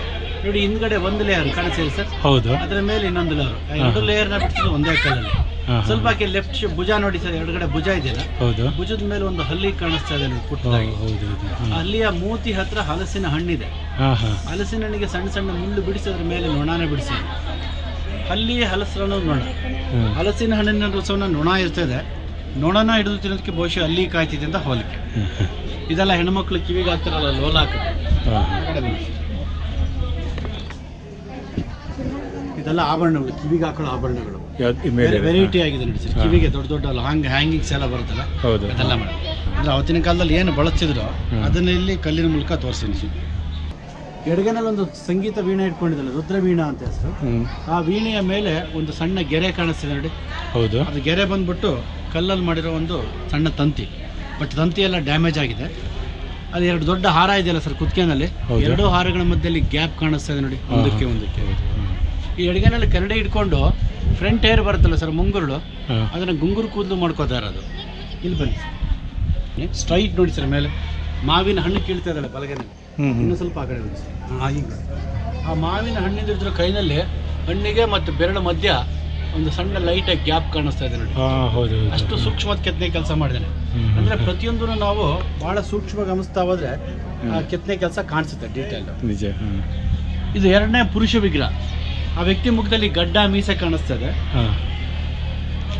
ಇಲ್ಲಿ ಇಬ್ರು ಜಟ್ಟಿಗಳು ಕುಸ್ತಿ ಆಡ್ತಿದ್ದಾರೆ ನೋಡಿ ಸರ್ ಇಲ್ಲಿ ಮಲ್ಲ ಯುದ್ಧ ಅಂತ ಹೇಳ್ತೀವಿ ಸೌತ್ ಇಂಡಿಯನ್ ಇಂಡಿಯನ್ಸ್ ಇದನ್ನೇ ಇವತ್ತು ಡಬ್ಲ್ಯೂ ಡಬ್ಲ್ಯೂ ಎಫ್ ರಸ್ಲಿಂಗ್ ಅಂತ ಹೇಳಿ ಕರೀತಾರೆ. ಇದು ದರ್ಪಣ ಸುಂದರಿ ನೋಡಿದ್ರಲ್ಲ ಸರ್? ಆ ವಿಗ್ರಹದ ಮಿನಿಯೇಚರ್ ಇದು ಸಣ್ಣ ಪ್ರತಿಮೆ. ಇಲ್ಲಿ ದೇವಸ್ಥಾನ ನಿಮ್ಗೆ ಹೇಳುವಾಗ ಎರಡು ಭಾಗ ಮಾಡಿರ್ತೀವಿ. ಮೊದಲ ಭಾಗ ಜೀವಾತ್ಮ ಇನ್ನು ಎರಡನೇ ಭಾಗ ಪರಮಾತ್ಮ. ಹ್ಞೂ ಅಂದ್ರೆ ಇದೆಲ್ಲ ಜೀವಾತ್ಮ ಅಂದ್ರೆ ಮನುಷ್ಯಗೆ ಸಂಬಂಧಪಟ್ಟಂತ ಕತೆ. ಪರಮಾತ್ಮ ಅಂದ್ರೆ ದೇವರು. ಸೊ ಇಲ್ಲಿಂದ ಪುರಾಣ ಕಥೆಗಳು ಜಾಸ್ತಿ. ಯಾಕೆಂದ್ರೆ ರಾಮಾಯಣ ಮಹಾಭಾರತ ಕಥೆಗಳು ಶುರುವಾಗುತ್ತೆ. ಅದಕ್ಕೆ ಕಾರಣ ಏನಪ್ಪ ಅಂದ್ರೆ ಇದು ಗರ್ಭಗುಡಿ ಸಂಬಂಧಪಟ್ಟಂತ ಸ್ಥಳ. ಹಾಗಾಗಿ. ಹ್ಞೂ ಎಲ್ಲ ವಿಷ್ಣುನೇ. ಲಕ್ಷ್ಮೀ ಜನಾರ್ದನ ಕೇಶವ ಹರಿಹರ ಅನ್ನೋ ಹೆಸರು ಕರೀತಾರೆ ಇದು ಹರಿಹರ. ಹರಿಹರ ಅಂದರೆ ಶಿವ ಮತ್ತು ವಿಷ್ಣು ಕಾಂಬಿನೇಷನ್ ಹೊರಗಡೆ ನಂದಿ ಇದೆ ಶಿವನ ಸಂಕೇತ. ಗರುಡ ಬಂದು ವಿಷ್ಣು ಸಂಕೇತ. ಆ ಮೇಲೆ ನೋಡಿ ಸರ್ ಒಂದು ಸ್ಲ್ಯಾಬ್ ಇದೆಯಲ್ಲ ಅದ್ರ ಮೇಲೆ ಒಂದು ಚಿಕ್ಕ ಮಗು ಮಲಗಿದೆ ಕಾಣಿಸ್ತಿದೆ ಹೌದು. ಶ್ರೀಕೃಷ್ಣ ಮಗುವಾಗಿದ್ದಾಗ ಆಲದಲ್ಲಿ ಮೇಲೆ ಮಲ್ಕೊಂಡು ಬಲಗಾಲಿನ ಎಬ್ಬಳನ್ನು ಬಾಗಿಟ್ಟು ಚೀಪ್ತಾರೆ ವಟಪತ್ರ ಶಾಯಿ ಅಂತ. ವಟ ಏನಲ್ಲಿ ವಟಪತ್ರ ಶಾಯಿ ವಟಪತ್ರ ಸೇ- ಕೃಷ್ಣ ಅಂತ. ವಟಪತ್ರ ಅಂದ ಹಾಗೆ. ಇಲ್ಲಿ ಶಿವ ಜಲಂಧರಾಕ್ಷರ ಸಂಹಾರ ಮಾಡ್ತಿರೋದು. ಈ ಕಂಬದಲ್ಲಿ ಹೂವನ್ನ ಮೇಲಿಂದ ನಗಮಿಸ್ತಾ ಸರ್? ಕಮಲದ ಹೂವನ್ನು ಬಿಡಿಸಿ ನೋಡಿ ಕಮಲ ಸ್ತಂಭ. ಹೌದೌದು ಹಾಂ. ಶ್ರೀಕೃಷ್ಣನ ಕೊಲ್ಲೋದಕ್ಕೆ ಅಂತ ರಾಕ್ಷಸಿ ಬರ್ತಾಳೆ ಹೊಟ್ಟೆ ಭಾಗದಲ್ಲಿ ಚೇಳು ಕೆತ್ತನೆ ಮಾಡಿದ್ದೀನಿ. ಕಾಣಿಸ್ತಿದೆ ನೋಡಿ? ಕಾಣಿಸ್ತಾ ಇದೆ. ವಿಷದ ಸಂಕೇತವಾಗಿ ಚೇಳಿದೆ. ವಿಷಕನ್ನಿ ವಿಷಕನ್ಯೆ ಅಂತ. ಇಲ್ಲಿ ದಶಕಂಠ ರಾವಣ ಕೈಲಾಸ ಪರ್ವತನ ತಲೆ ಮೇಲೆ ಉತ್ಕೊಂಡು ಕೂತಿರೋದು. ಹೌದು ಈ ಕೈಲಾಸ ಪರ್ವತದಲ್ಲಿ ಮೇಲೆ ಶಿವ ಪಾರ್ವತಿ ನಂದಿನ ನೋಡ್ಬೋದು. ಹೌದು ಹಾಂ. ಸರಿಯಾಗಿ ಗಮನಿಸಿದ್ರೆ ಇಲ್ಲಿ ನಾಲ್ಕು ಲೋಕ ಇದೆ. ಮೊದಲ ಸಾಲಲ್ಲಿ ಹಾವುಗಳು ನಾಗಲೋಕ ಕಾಡು ವನಲೋಕ ಮಾನವಲೋಕ ದೇವಲೋಕ. ಅದ್ರ ಭಾರ ಜಾಸ್ತಿ ಆಗಿಬಿಟ್ಟು ಆ ಕುತ್ತಿಗೆನಲ್ಲಿ ರಿಂಕಲ್ ಕಾಣಿಸ್ತಾ ಇದೆ ನೋಡಿ ಹೌದೌದು ಹಾಂ. ಮಲ್ಟಿ ಸ್ಟೋರ್ ಬಿಲ್ಡಿಂಗ್ ನೋಡಿ sir first floor second floor. Balcony wall ಬರುತ್ತಲ್ಲ ವರಾಂಡ. ಹೌದು. ರಿಲ್ ವರ್ಕ್ ಇದೆ ಕಿಟಕಿಗಳು. ಒಂಬೈನೂರು ವರ್ಷಗಳಿಂದ ಮಾಡಿತ್ತು ಇದು ಬೇರೆ ಕಲ್ಲಲ್ಲಿ ರೀಪ್ಲೇಸ್ ಮಾಡಿದರೆ ಹಳೆದಕ್ಕೂ ವಸ್ತುಕ್ಕೂ ಎಷ್ಟು ವ್ಯತ್ಯಾಸ ಕಾಣಿಸುತ್ತೆ ನೋಡಿ. ನಿಜ. ಆನೆಗಳು ಶಕ್ತಿಯ ಸಂಕೇತ. ಸಿಂಹಗಳು ಶೌರ್ಯಕ್ಕೆ ವೇಗಕ್ಕೆ ಕುದುರೆಗಳು. ಇಲ್ಲಿ ಮೂಲೆಯಲ್ಲಿ ಮಹಿಷಾಸುರ ರಕ್ತನ ಸಂಹಾರ ಮಾಡ್ತಿರೋದು ಚಾಮುಂಡೇಶ್ವರಿ. ಮಹಿಷಾಸುರ ಮರ್ದಿನಿ. ಸಾಕಷ್ಟು ಆಯುಧಗಳಿದೆ. ಇದು ಪಕ್ಕ ಪಕ್ಕಕ್ಕೆ ಹೋದ್ರೆ ಹಿಡಿಸ ದಕ್ಷ ಬ್ರಹ್ಮ ಅಂತ ದಕ್ಷ ರಾಜ. ಹ್ಞೂ ಹ್ಞೂ ತುಂಬ ಅಪರೂಪವಾದಂಥ ಗಣಪತಿ ಅಷ್ಟಭುಜ ವಿನಾಯಕ ಅಂತ ಎಂಟು ಕೈಗಳು. ಆ ಗಣಪತಿಯ ವಿಶೇಷ ಏನಪ್ಪ ಅಂದರೆ ಒಂದು ಕೈ ಡ್ಯಾಮೇಜ್ ಆಗಿದೆ. ಮಕ್ಕಳು ಪೂಜೆ ಮಾಡಲ್ಲ. ಮಕ್ಕಳು ಪೂಜೆ ಮಾಡ್ತಾರೆ ದೊಡ್ಡವರ್ಯಾರು ಪೂಜೆ ಮಾಡಲ್ಲ. ಭಿನ್ನ ಆಗಿದೆ ಅಂತ. ಭಿನ್ನ ಆಗಿದೆ ಭಿನ್ನ ಆಗಿದೆ ಭಿನ್ನ ಆಗಿದೆ ಅಂತ. ಮೇಲೆ ಉಗ್ರ ನರಸಿಂಹನ ವಿಗ್ರಹ ಇದೆ. ಹಿರಣ್ಯಕಶ್ಯಪನ ಹೊಟ್ಟೆಯನ್ನು ಬಗೆದು ಆ ಸಣ್ಣ ಕರಳು ಬರುತ್ತಲ್ಲ ಸರ್ ಹೌದು. ಅದನ್ನು ತೆಗೆದು ಅದನ್ನೇ ಕೊರಳಿಗೆ ಮಾಲೆಯಾಗಿ ಧರಿಸಿದೆ. ಆ ಕೊಲ್ಲುವಾಗ ಎಷ್ಟು ಕೋಪ ಆಯಿತು ಅಂತನಕ್ಕೆ ನಾಲಿಗೆ ತುದಿ ನೋಡಿ ಎಷ್ಟು ಶಾರ್ಪ್ ಇದೆ. ಕಣ್ಣು ಗುಡ್ಡೆಗಳ ಹಾಗೆ ಹೊರಗಡೆ ಬರ್ತಾ ಇದೆ. ಒಂಬೈನೂರು ಒಂಬೈನೂರು ವರ್ಷಗಳಿದ್ದನ್ನೆಲ್ಲ ಕೆತ್ತನೆ ಮಾಡುವಾಗ ಫೋಟೋ ನೋಡ್ಕೊಂಡು ಹ್ಮ್. ಕಲ್ಪನೆ ಮಾಡ್ಕೊಂಡು ಕೆತ್ತನೆ ಮಾಡಿ ಹೌದು. ಈ ಕಡೆ. ವರಹ ಅವತಾರ ವಿಷ್ಣುವಿನ ಮೂರನೇ ಅವತಾರ ನಂದಿ ಅವತಾರದಲ್ಲಿ ಬಂದು ಹಿರಣ್ಯಕಶ್ಯಪನ ತಮ್ಮ ಹಿರಣ್ಯಾಕ್ಷನ ಸಂಹಾರ ಪಕ್ಕದ ಚತುರ್ಮುಖ ಬ್ರಹ್ಮ. ಬ್ರಹ್ಮನ ತಲೆ ಮೇಲೆ ಪುಟ್ಟ ಗಂಟೆ ಇದೆ. ಅದರ ಮೇಲೆ ಕಲ್ಲಿನ ಸರಪಳಿ ಇದೆ. ನಿಜವಾದ ಕಬ್ಬಿಣ ಸರಪಳಿ ಬರುತ್ತಲ್ಲ ಆ ಥರ ಕಾಣಿಸ್ತಾ ಇದೆ ಅದು ಕೂಡ ಕಡೆ ಹದಿನಾಲ್ಕು ಕೊಂಡಿಗಳಿದೆಯಲ್ಲ ಸರ್? ನಮಗಿರೋ ಹದಿನಾಲ್ಕು ಲೋಕಗಳ ಸಂಕೇತ ಯಾವುದು? ಇಲ್ಲಿ ಮೇಲೆ ಬ್ರಹ್ಮನ ತಲೆ ಮೇಲೆ. ಬ್ರಹ್ಮನ ತಲೆ ಹಾಂ ಹಾಂ ಹಾಂ. ಬೆಲ್ ಮೇಲೆ. ಹೌದು. ಶಿವ ಇಲ್ಲಿ ಬೆತ್ತಲೆ ರೂಪದಲ್ಲಿ ಬಂದಿರೋದು ನಗ್ನ ಕಾಲ ಭೈರವ. ಹಾಂ. ಕಾಲಿನ ಪಾದರಕ್ಷೆ ನೋಡಿ ಎತ್ತರವ ಸ್ಲಿಪ್ಪರ್ ಹಾಕ್ತಾರಲ್ಲ ಹೀಲ್ ಸ್ಲಿಪ್ಪರ್ ತರ ಇದೆ ಹೌದು. ಮೂಲದಲ್ಲಿ ನಾಗರಾಜ ನಾಗರಾಣಿ ನಾಗ ದಂಪತಿಗಳು. ಪಕ್ಕದ್ದು ಮತ್ತೆ ಇಲ್ಲಿ ಶಿವನೇ. ಬಟ್ ಶಿವ ಇಲ್ಲಿ ಸಾಕಷ್ಟು ಆಯುಧಗಳು ಇಟ್ಕೊಂಡು ಆನೆ ತಲೆ ಮೇಲೆ ಪಾದ ಇಟ್ಟು ನರ್ತನ ಮಾಡ್ತಾರೆ ಈ ಆನೆಯ ರೂಪದಲ್ಲಿ ಒಬ್ಬ ರಾಕ್ಷಸ ಬರ್ತಾನೆ ಗಜಾಸುರ ಅಂತ. ಶಿವ ಆತನನ್ನು ಅಲಕ್ಕೆ ಅಪ್ಪಳಿಸಿ ಹೊಟ್ಟೆಯನ್ನು ಬಗೆದು ಚರ್ಮ ಬರುತ್ತಲ್ಲ ಆನೆ ಚರ್ಮ. ಅದನ್ನ ಆನೆ ಚರ್ಮವನ್ನು ಬಿಡಿಸಿ ಬಟ್ಟೆಯಾಗಿ ಧರಿಸಿರೋದು. ಆ ಧರಿಸಿದಾಗ ಎರಡು ಕಾಲುಗಳು ಮೇಲಕ್ಕೆ ಹೋಗಿದೆ ನೋಡಿ ಆನೆಯ ಪಾದಗಳು. ಆನೆ ಪಾದಗಳು. ಆ ತೆಳ್ಳಗಿದೆಯಲ್ಲ ಸರ್ ಇದೆಲ್ಲ ಆನೆದ ಚರ್ಮನ ಬ್ಲಾಂಕೆಟ್ ಮಾಡ್ಕೊಂಡು ಅದಕ್ಕೆ ಶಿವನಿಗೆ ಗಜ ಚರ್ಮ ಅಂಬರದಾರಿ ಅಂತ ಹೇಳ್ತಾರೆ. ಇದು ಸಿಮೆಂಟಲ್ಲಿ ರೀಪ್ಲೇಸ್ ಮಾಡಿದ್ದು. ಇದು ಏಳು ಕುದುರೆಗಳನ್ನು ಏರಿ ಬರ್ತಿರೋದು ಸೂರ್ಯ ಭಗವಾನ್ ಸೂರ್ಯದೇವ. ಸೂರ್ಯದೇವ. ಈಗ ನಾನು ನಿಮ್ಗೆ ಹೇಳ್ತಿರೋದು ಹನ್ನೆರಡನೇ ಶತಮಾನ ಹೊಯ್ಸಳರ ಕಾಲದ್ದು. ಹೊಯ್ಸಳರ ನಂತರ ಕರ್ನಾಟಕ ರಾಜ್ಯವನ್ನು ಆಳ್ವಿಕೆ ಮಾಡಿದ್ದು ವಿಜಯನಗರ ಶ್ರೀಕೃಷ್ಣ ದೇವರಾಯರು ಬರ್ತಾರೆ. ನೋಡಿ ಅವ್ರು ಕಟ್ಸಿದ್ರು ಲಕ್ಷ್ಮೀ ದೇವಸ್ಥಾನ. ಪಕ್ಕದಲ್ಲಿ ಅದು ವಿಷ್ಣು ಪರಮಾತ್ಮನಿಗೆ ಮೊದಲನೇ ಪತ್ನಿ ವಿಷ್ಣು ಪರಮಾತ್ಮನಿಗೆ ಎರಡನೇ ಪತ್ನಿ ಭೂದೇವಿ. ಇದು ಕಲ್ಯಾಣ ಮಂಟಪ. ಬಡವರು ಬರಲಿ ಶ್ರೀಮಂತರು ಬರಲಿ ಇದು ಸರ್. ಇವತ್ತಿಗೂ ತುಂಬ ಸರಳವಾಗಿ ಮದುವೆಗಳೆಲ್ಲ ಆಗುತ್ತೆ ಇವಾಗಲೂ ಆಗುತ್ತೆ ಸರಳವಾಗಿ. ಮಾಡ್ಕೊಂಡು ಈ ಮೂರು ದೇವಸ್ಥಾನಗಳ ಸ್ಟೈಲ್ ಏನಪ್ಪ ಅಂದರೆ ಬೇಸ್ಮೆಂಟು ಚೌಕಾಕಾರ ಕಾಣಿಸುತ್ತೆ. ಹೊಯ್ಸಳರು ಕಟ್ಟಿರೋ ಜಗಲಿಗಳೆಲ್ಲ ನಕ್ಷತ್ರಾಕಾರದಲ್ಲಿ ಇರ್ತವೆ ಸ್ಟಾರ್ ಶೇಪ್ ಇದೆ. ಇದು ವೀರನಾರಾಯಣ ಹೊಯ್ಸಳರದ್ದು. ಸೊ ಸ್ಟಾರ್ ಶೇಪ್ ಇದೆ. ಇದೆಲ್ಲ ಡ್ಯಾಮೇಜ್ ಆಗಿರೋ ಫುಲ್ ಎಲ್ಲ ಡಿಪಾರ್ಟ್ಮೆಂಟ್ ಕಲೆಕ್ಟ್ ಮಾಡಿಟ್ಟಿರೋದು. ಅದು ಟೆಂಪಲ್ದು ಸ್ಟೋರ್ ರೂಮ್ ಇದೆ ನೋಡಿ. ವಾಸ್ತು ಪ್ರಕಾರ ಕಟ್ಟಿದ್ದಾರೆ ಅನ್ನೋದಕ್ಕೆ. ಸರ್ ಇದನ್ನು ಸ್ವಲ್ಪ ನೋಡಿ ಅಬ್ಸರ್ವ್ ಮಾಡಿ ನೋಡಿ. ಚಾರಿಯೇಟ್ ಬರುತ್ತಲ್ಲ ರಥ? ಹೌದು. ರಥದ ಆಕಾರ ಕಾಣಿಸುತ್ತೆ ನೋಡಿ. ಹೌದು ಹೌದು ಹಾಂ. ಬನ್ನಿ. ಈ ಬೇಲೂರು ದೇವಸ್ಥಾನಕ್ಕೆ ಸಂಬಂಧಪಟ್ಟಂತೆ ನಾವು ಈ ರೀತಿ ಕಾರ್ನರ್ನ ಅಬ್ಸರ್ವ್ ಮಾಡ್ತಾ ಹೋದ್ರೆ ಮೂವತ್ತೆರಡು ಬರುತ್ತೆ. ನೋಡಿ ಸರ್ ಈಗ ಜಿಗ್ಜಾಗ್ ಶೇಪಲ್ಲಿ ಹೌದು. ಒಂದು ಮತ್ತು ಇಲ್ಲಿಗೆ ಬಂದರೆ ನೋಡಿ ಎರಡು. ಈಗ ಅರೌಂಡ್ ಟೆಂಪಲ್ ಬಂದು ಮೂವತ್ತೆರಡು ಇದೆ. ಇಲ್ಲಿ ನಿಂತ್ಕೊಂಡು ಮೇಲೆ ನೋಡಿ ಸರ್. ಮೇಲ್ ಕೂಡ ಹೀಗೆ ನಕ್ಷತ್ರಾಕಾರದ ಮೂಲೆಗಳು ಮೂವತ್ತೆರಡೇ ಬರುತ್ತೆ. ಒಂದು ಮೂಲೆಯನ್ನು ತಗೊಂಡ್ರೆ ಸ್ಟ್ರೈಟ್ ಬರ್ತಾ ಇದೆ. ಆ ಮೂಲೆ ನೋಡಿ ಹಾಗೆ ತಗೊಂಡು ಈ ಮೂಲೆಗೆ ಹೋಗುತ್ತೆ. ಮೂವತ್ತೆರಡು ಮೂವತ್ತೆರಡು. ನೀವು ಹಳೆ ಬೆಳಗ್ಗೆ ಹೋದ್ರೆ ಅರವತ್ನಾಲ್ಕು ಮೂಲೆ ನೋಡ್ತೀರಿ. ಇದಕ್ಕಿಂತ ಎರಡು ಪಟ್ಟು ದೊಡ್ಡ ಇದು ಏಕಕೂಟ ಅದು ದ್ವಿಕೂಟ. ಈ ಜಡೆ ಕಟ್ಟಿರೋ ಸ್ಟೈಲ್ ನೋಡಿ ಸರ್. ಅಜಂತ ಹೇರ್ ಸ್ಟೈಲ್ ಅಂತ ಹೇಳ್ತಾರೆ. ಆ ಸುಂದರಿಯ ಮುಖಕ್ಕಿಂತ ಆ ತುರುಬು ದೊಡ್ಡದು. ಹೌದು. ಕಿವಿಗಿಂತ ಕಿವಿಗೆ ಹಾಕಿರೋ ಓಲೆ ದೊಡ್ಡದು. ಎಲ್ಲ ಫ್ಯಾಷನ್ ಅವತ್ತಿನ ಕಾಲದಲ್ಲೇ ಇದ್ದಿತ್ತು ಹೌದು. ಇದು ಪ್ರಣಾಳ. ಸ್ವಚ್ಛತೆಗೆ ಎಷ್ಟು ಆದ್ಯತೆ ಕೊಟ್ಟಿದ್ರು ಅನ್ನೋದಕ್ಕೆ. ಸುಮಾರು ಒಳಗಡೆಯಿಂದ ಕನೆಕ್ಟ್ ಮಾಡಿರೋದು. ಹಾಂ. ಹದಿನಾರು ಅಡಿ ಮೇಲೆ ಉದ್ದ ಇದೆ ಅಂತ ಅಂದಾಜು ಅಂತಾರೆ. ಹೌದು. ದೇವರನ್ನ ತೊಳೆದು ಅಭಿಷೇಕ ಮಾಡಿದಾಗ ಆ ನೀರು ಸರಾಗವಾಗಿ ಹರಿದು ಬಂದು ಇಲ್ಲಿ ಬೀಳುತ್ತೆ. ಇಲ್ಲಿ ನೋಡಿ ಸರ್ ಬಿದ್ದು ನೀರು ಒಳಮಾರ್ಗವಾಗಿ ಚರಂಡಿ ಮಾಡಿದ್ರು. ಒಳ ಚರಂಡಿ ವ್ಯವಸ್ಥೆ ಅಂಡರ್ಗ್ರೌಂಡ್ ಓ ಡ್ರೈನೇಜ್ ಆಗಲೇ ಯುಜಡಿ. ಹಾಂ ಹಾಂ. ಅದು ಎಷ್ಟು ಅಡ್ವಾನ್ಸ್ ಇದೆ ಇದು ದೇವರ ಪಾದ. ಬಂದು ಭಕ್ತಾದಿಗಳು ಪೂಜೆ ಮಾಡಲಿಕ್ಕೋಸ್ಕರ ಮಾಡಿರೋದು. ಪಾದದ ಮಧ್ಯದಲ್ಲಿ ಅಲ್ಲಿ ಹೂವಿನ ಸಂಖ್ಯೆ ಹೂವು ಇದೆಯಲ್ಲ ಸರ್? ಹೌದು. ಲಕ್ಷ್ಮೀ ಸಂಕೇತ. ಬನ್ನಿ ಸರ್. ಇದು ವಾರಾಹಾತದಲ್ಲಿ ವಿಷ್ಣು ಬಂದಿರೋದು ಮಂಗ ಸೀರೆ ತುದಿ ಇಟ್ಕೊಂಡು ಹೇಳ್ತಿರೋದು. ಆ ಭಾಗದಲ್ಲಿ ಇತ್ತಲ್ಲ ಅದನ್ನು ರಿಪೀಟ್ ಮಾಡಿದ್ದಾನೆ. ಇಲ್ಲಿ ರತಿ ಮನ್ಮಥರಿದ್ದಾರೆ ರತಿ ಕೈನಲ್ಲಿ ಹಣ್ಣಿದೆ. ಮನ್ಮಥನ ಕೈನಲ್ಲಿ ಕಬ್ಬಿನ ಜಲ್ಲೆ ಮನ್ಮಥ ಬಾಣ ಇದೆ. ಇವ್ರನ್ನ ಎಲ್ಲೇ ನೋಡಿದ್ರು ಹೀಗೆ ಜೋಡಿ ಎನಿಸುತ್ತಾರೆ ದೇವಸ್ಥಾನದ ಭಾಗದಲ್ಲಿ ಇಬ್ಬರನ್ನ ಸಪ್ರೇಟ್ ಮಾಡಿದ್ದಾರೆ. ದೇವಾಲಯದ ದೇವಾಲಯದೊಳಗಡೆ ನಾವು ಬರುವಾಗ ನಮ್ಮಲ್ಲಿರ್ತಕ್ಕಂಥ ಹರಿಷಡ್ ವರ್ಗಗಳನ್ನು ಹೊರಗಡೆ ಬಿಟ್ಟು ಬರಬೇಕು. ಭಕ್ತಿಯಿಂದ ಬರಬೇಕು. ಅರ್ಜುನ ಇದು ಮಹಾ ಮಹಾಮಾಸ ಇದು ಮಹಾಭಾರತದಲ್ಲಿ ಮತ್ಸ್ಯಭೇದ ಯಂತ್ರ ಅಂತ ಬರುತ್ತೆ. ಹೌದು. ದ್ರೌಪದಿ ಸ್ವಯಂವರದ ಸನ್ನಿವೇಶ. ಅಲ್ಲಿ ಮೀನಿನ ಕಣ್ಣಿಗೆ ಬಾಣ ಹೊಡಿರೋದು ಅರ್ಜುನ. ಹೌದು. ಅದೇನಪ್ಪ ಅಂದರೆ ಮುಂದೆ ಮೀನು ಕಟ್ಟಿರ್ತಾರೆ ಮೀನು ತಿರುಗ್ತಾ ಇರುತ್ತೆ. ಅದಕ್ಕೆ ಗುರಿ ಇಟ್ಟು ನೇರವಾಗಿ ಹೊಡಿಯೋಗಿಲ್ಲ ಕೆಳಗಡೆ ಆನೆ ಎಣ್ಣೆಯ ಪಾತ್ರೆ ಇರ್ತಲ್ಲ.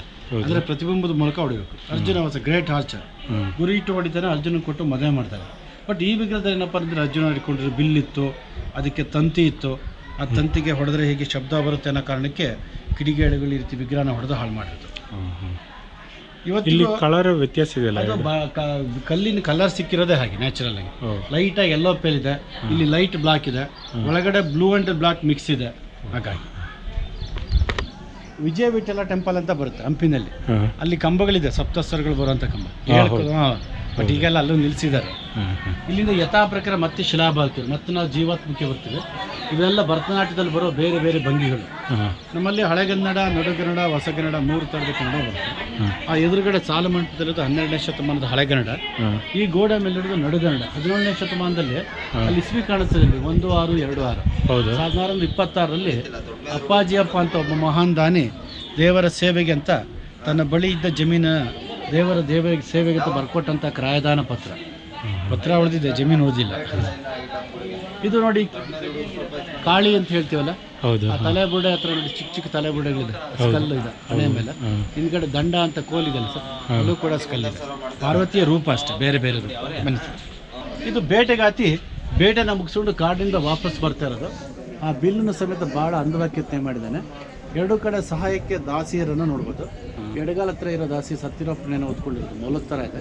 ಬಲಗಡೆ ಬಂದರೆ ಇನ್ನೊಬ್ಳು ಕಾಲನ್ನ ಮಡಿಸಿರೋದ್ರಿಂದ ಆ ಕಾಲಲ್ಲಿರೋ ಮುಳ್ಳನ್ನು ಇನ್ನೊಬ್ಳು ದಾಸಿ ಕುತ್ಕೊಂಡು ಕೇಳ್ತದೆ. ಪಿಯಗೆ ಪಿ ಆಟಾಳಿಗೆ ಚೋಟಾಳು ಚೋಟಾಳಿಗೆ ಮೋಟಾಳು. ಈ ಬಾಗಿಲು ಬಂದು ಉತ್ತರ ದಿಕ್ಕಿಗಿದೆ. ಸ್ವರ್ಗದ್ವಾರ ಅಂತ ಪೂಜೆ ಆಗುತ್ತೆ. ಇದು ವಿಷ್ಣು ಪರಮಾತ್ಮ ಭಸ್ಮಾಸುರನ ಸಂಹಾರ ಮಾಡೋದಕ್ಕೆ ಮೋಹಿನಿ ರೂಪ ಸ್ಥಳ. ಯಾವುದು? ಭಸ್ಮಾಸುರ ಮೋಹಿನಿ. ವಿಗ್ರಹಗಳನ್ನ ಮೂವತ್ತರಿಂದ ನಲವತ್ತು ಡಿಗ್ರಿ ಓರೆ ಮಾಡಿ ಸರ್ ಹೌದು ಹೌದು ಆರ್ಕಿಯಾಲಜಿ ಪೋರ್ಡ್ ಪ್ರಕಾರ ಪ್ರಕಾರ ಈ ವಿಗ್ರಹನ ಅಲ್ಲಿಂದ ತೆಗೆದು ಕೆಳಗಡೆಗೆ ಕೆಳಗಡೆ ಸ್ಟ್ರೈಟ್ ನಿಲ್ಲಿಸಿ ಬಲಗೇನ ಕಿರುಬಳಿದೆ ನೋಡಿ ತಲೆ ಮೇಲೆ. ಅಲ್ಲಿ ನೀರಿನ ಹನಿಗಳನ್ನು ಬಿಟ್ಟರೆ ಅದು ನೇರ ಮೂಗಿನ ತುದಿ ಬಿದ್ದು ಎಡಗಡೆ ಸ್ತನದ ಮೇಲೆ ಬಿದ್ದು ಎಡಗಾಲಿನ ಹೆಬ್ಬೆರಳಿನ ತುದಿಯಿಂದ ನಲಗಿ ಬೀಳುತ್ತೆ. ಒಂದೇ ಲೈನಲ್ಲಿ ಬೀಳಬೇಕು. ಬಟ್ ಇದೆಲ್ಲ ಏನು ತೋರಿಸುತ್ತೆ? ಆ ಶಿಲ್ಪಿಯ ಸ್ಕಿಲ್ ತೋರಿಸುತ್ತೆ ಕೌಶಲ್ಯ. ಹೌದು. ಆ ಬಲಗಲ್ಲಿ ಸೀರೆ ಇದೆಯಲ್ಲ? ಸೀರೆನ ಧರಿಸ್ತಾ ಇರೋದು. ಸೀರೆ ಧರಿಸಿದಾಗ ಸೀರೆ ಡಿಸೈನ್ ಇದೆಯಲ್ಲ. ಎಡಗಡೆ ಮಂಡಿ ಮೇಲೆ ಕಾಣಿಸ್ತದೆ ನೋಡಿ. ಹೌದು ಪ್ರಿಂಟೆಡ್ ಸ್ಯಾರಿ ಥರ ಇಲ್ಲಿ ವಿಷ್ಣು ಪರಮಾತ್ಮ ಆದಿಶೇಷನ ಮೇಲೆ ಮಲಗಿರ್ತಾರೆ ರಂಗನಾಥ ಸ್ವಾಮಿ ಅಂತ ಹೇಳ್ತೀವಿ. ಅನಂತ ಪದ್ಮನಾಭ ಅನಂತ ಶಯನ. ಅದು ನೋಡಿ ಸರ್ ತನ್ನ ಶಿಷ್ಯಗೆ ನಾಟ್ಯನ ಹೇಳ್ಕೊಡ್ತಿರೋದು. ಗುರು ಶಿಷ್ಯನ ಹೌದು.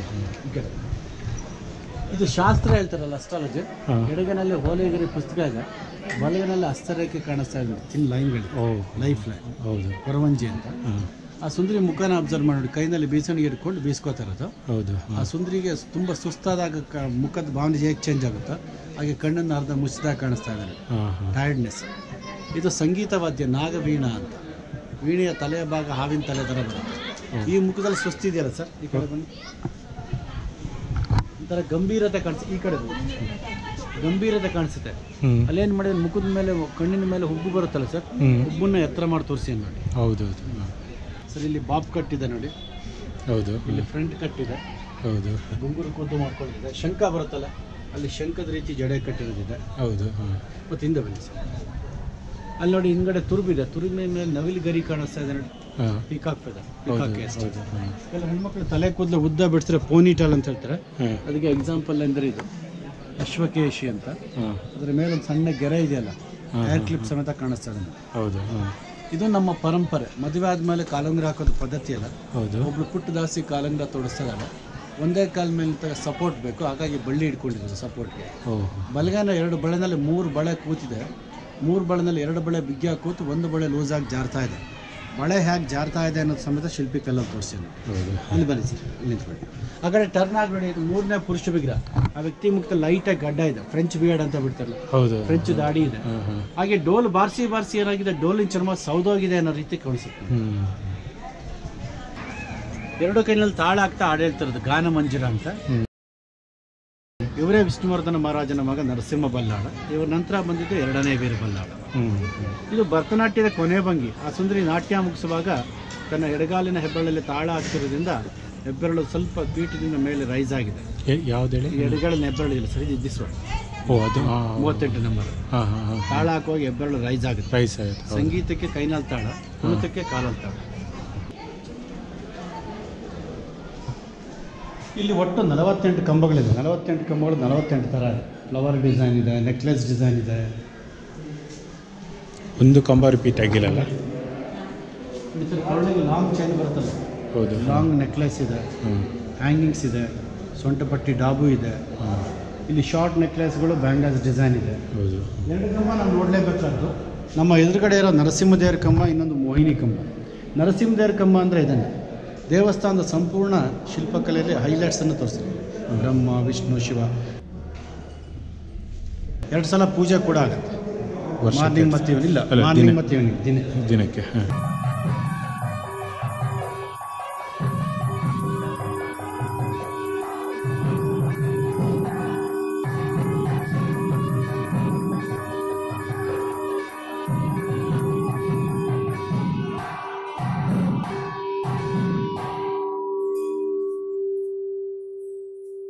ದಿನ ದಿನಕ್ಕೆ ಹಾಂ ಎಲ್ಲ ದೇವರುಗಳು ಇದೆ ಓ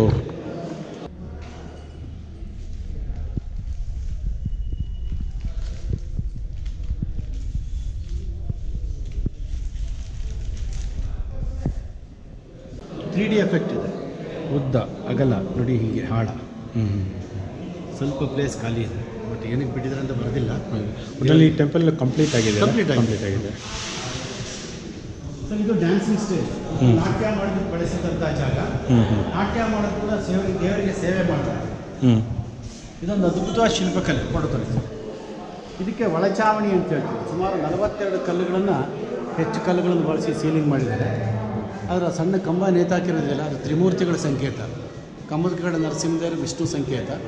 ಕಂಬದ ಒಳಗಡೆ ಕಮಲದ ಹೂವು ಬ್ರಹ್ಮನ ಸಂಕೇತ. ಇಡೀ ಕಂಬ ಶಿವನ ಲಿಂಗ ಇದ್ದಾಗಿದೆ. ಮೂರು ದೇವರುಗಳನ್ನು ಒಂದೇ ಜಾಗದಲ್ಲಿ ತೋರಿಸೋದ್ರಿಂದ ಭುವನೇಶ್ವರಿ ಅಂತ ಹೇಳ್ತಾರೆ. ಇದರ ಅಂದಾಜು ಸುತ್ತಳತೆ ಈಗ ಇಪ್ಪತ್ತು ನಾಲ್ಕು ಅಡಿ ಇದೆ ಅಂತ ಹೇಳ್ತಾರೆ. ಹನ್ನೆರಡು ಅಡಿ ಆಗಲ್ಲ. ನಾಲ್ಕರಿಂದ ಐದು ಅಡಿ ಆಳ ಬರ್ಬೋದು ಇಲ್ಲಿ ತನಕ. ಅದು ತ್ರಿಮೂರ್ತಿಗಳ ಸಂಕೇತ ಆದ್ದರಿಂದ ಕಂಬದ ಕಡೆ ನರಸಿಂಹದೇವರ ವಿಷ್ಣು ಸಂಕೇತ ಕಮಲದ ಬ್ರಹ್ಮನ ಸಂಕೇತ, ಇಡೀ ಕಂಬ ಶಿವನ ಲಿಂಗಕ್ಕೆ ಹೋಲಿಕೆ ಮಾಡ್ತಾರೆ. ಹಾಗಾಗಿ. ಸರ್ ಇದೇ ವಿಗ್ರಹ ರಾಣಿ ಶಾಂತಲಾ ದೇವಿ ಅವರು ಶಾಂತಲಾ ದೇವಿ ವಿಷ್ಣುವರ್ಧನ ಮಹಾರಾಜನ ಪತ್ನಿ. ನಾಟ್ಯಕ್ಕೆ ಹೆಸರು ಮಾಡಿದವರು. ಕೆಳಗಡೆ ನೋಡಿ ಶಿಲ್ಪಿಗಳ ಹೆಸರು ಇದರಲ್ಲಿ ಹೆಸರುಗಳೆಲ್ಲ ಇದೆ. ಮಾಡಿರೋದು ಬಳಪದ ಕಲೆ ಆದರೂ ಕಬ್ಬಿಣದಲ್ಲಿ ಮಾಡಿರೋ ಹಾಗೆ ಶೈನಿಂಗ್ ಇದೆ. ಅಷ್ಟು ಸುಂದರವಾದ ಕೆತ್ತೆ ಕೆಲಸ ಮಾಡಿದ್ರು ಶಿಲ್ಪಿ. ಹೌದು. ಅದು ಇಲ್ಲಿ ನಿಮಗೆ ಸ್ವಲ್ಪ ಸ್ವಲ್ಪ ಬ್ಲ್ಯಾಕ್ ಆಗೇ ಕಾಣಿಸುತ್ತೆ. ಬಟ್ ಇದನ್ನು ಕೆಮಿಕಲ್ ವಾಶ್ ಮಾಡಲ್ಲ. ಒಳಗೆ ಮಾಡಲ್ಲ. ಒಳಗೆ ಮಾಡಲ್ಲ ಹೊರಗಡೆ ಮಾಡಲ್ಲ. ಹರ್ಬಲ್ ಪೇಂಟ್ ಮಾಡ್ತಾರೆ ಅಷ್ಟೇ. ಸ್ವಾಭಾವಿಕ ಬಣ್ಣ. ಎಡಗೇನೆ ಮೇಲೆ ಮಯೂರ ನರ್ತಕ್ಕೆ ಒಂದು ಪಕ್ಷಿ ಇದೆ ಅದರ ಮುಖ ಬಂದು ಗಿಣಿ ಥರ ಇದೆ. ಹೌದು. ದೇಹದ ಭಾಗ ಎಲ್ಲ ನವಿಲಿನ ಥರ ಇದೆ. ಬಟ್ ಶಿಲ್ಪಿಯ ಕಲ್ಪನೆ ಹೇಗಿದೆಯೋ ಒಂದು ಸುಂದರವಾದ ಹೆಣ್ಣಿನ ನಾಟ್ಯ ನವಿಲಿ ಥರ ಇರಬೇಕು ಮಾತು ಗಿಣಿ ಥರ ಇರಬೇಕು ಅಂತ ಹೋಲಿಕೆ ಮಾಡ್ತಾರೆ.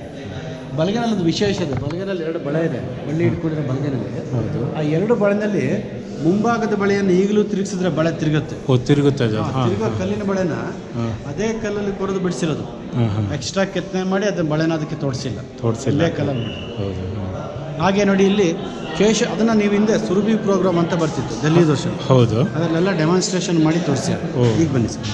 ತನ್ನ ಎರಡೂ ಕೈನ ಉಪಯೋಗಿಸಿ ಜಡೆಯನ್ನು ಹಿಂಡಿ ನೀರು ತೆಗಿತಾರಲ್ಲ ಆ ಜಡೆಯ ತುದಿನಲ್ಲಿರೋದು ನೀರಿನ ಹನಿಗಳು ಹೊರಗಡೆ ನೋಡೋಲ್ಲ ಸೇಮ್ ಸರ್. ಇಲ್ಲಿ ಹೆಚ್ಚು ಆಭರಣ ಇರೋ ವಿಗ್ರಹ ಅಂದರೆ ಇದು ಗಂಧರ್ವ ಕನ್ಯೆ. ತಲೆ ಮೇಲೆ ಕಿರೀಟ ಇದೆ ನೋಡಿ ಎಷ್ಟು ಅಂದವಾಗಿದೆ. ಹೌದು. ಕೈ ತುಂಬ ಬಳೆ ಸೊಂಟಪಟ್ಟಿ ಕಾಲ್ಗಡಗ ಕಾಲು ಚೈನ್ ಇದೆ. ತಲೆಯಿಂದ ತುರುಬಿದೆ ಅದರಿಂದ ಬಟ್ಟೆ ಕೂಡ ಬಿಡಿಸಿಲ್ಲ. ಇದರಲ್ಲಿ ನೆಕ್ಲೆಸ್ ಇದೆ ಮತ್ತು ಬಳೆ ಇದೆ. ಎರಡನೇ ಕಂಬದಲ್ಲಿ ಪೇಪರ್ ಕಟಿಂಗ್ಸ್ ಬರುತ್ತಲ್ಲ ಪೇಪರ್ ಕ್ರಾಫ್ಟ್ ಥರ ಇದೆ.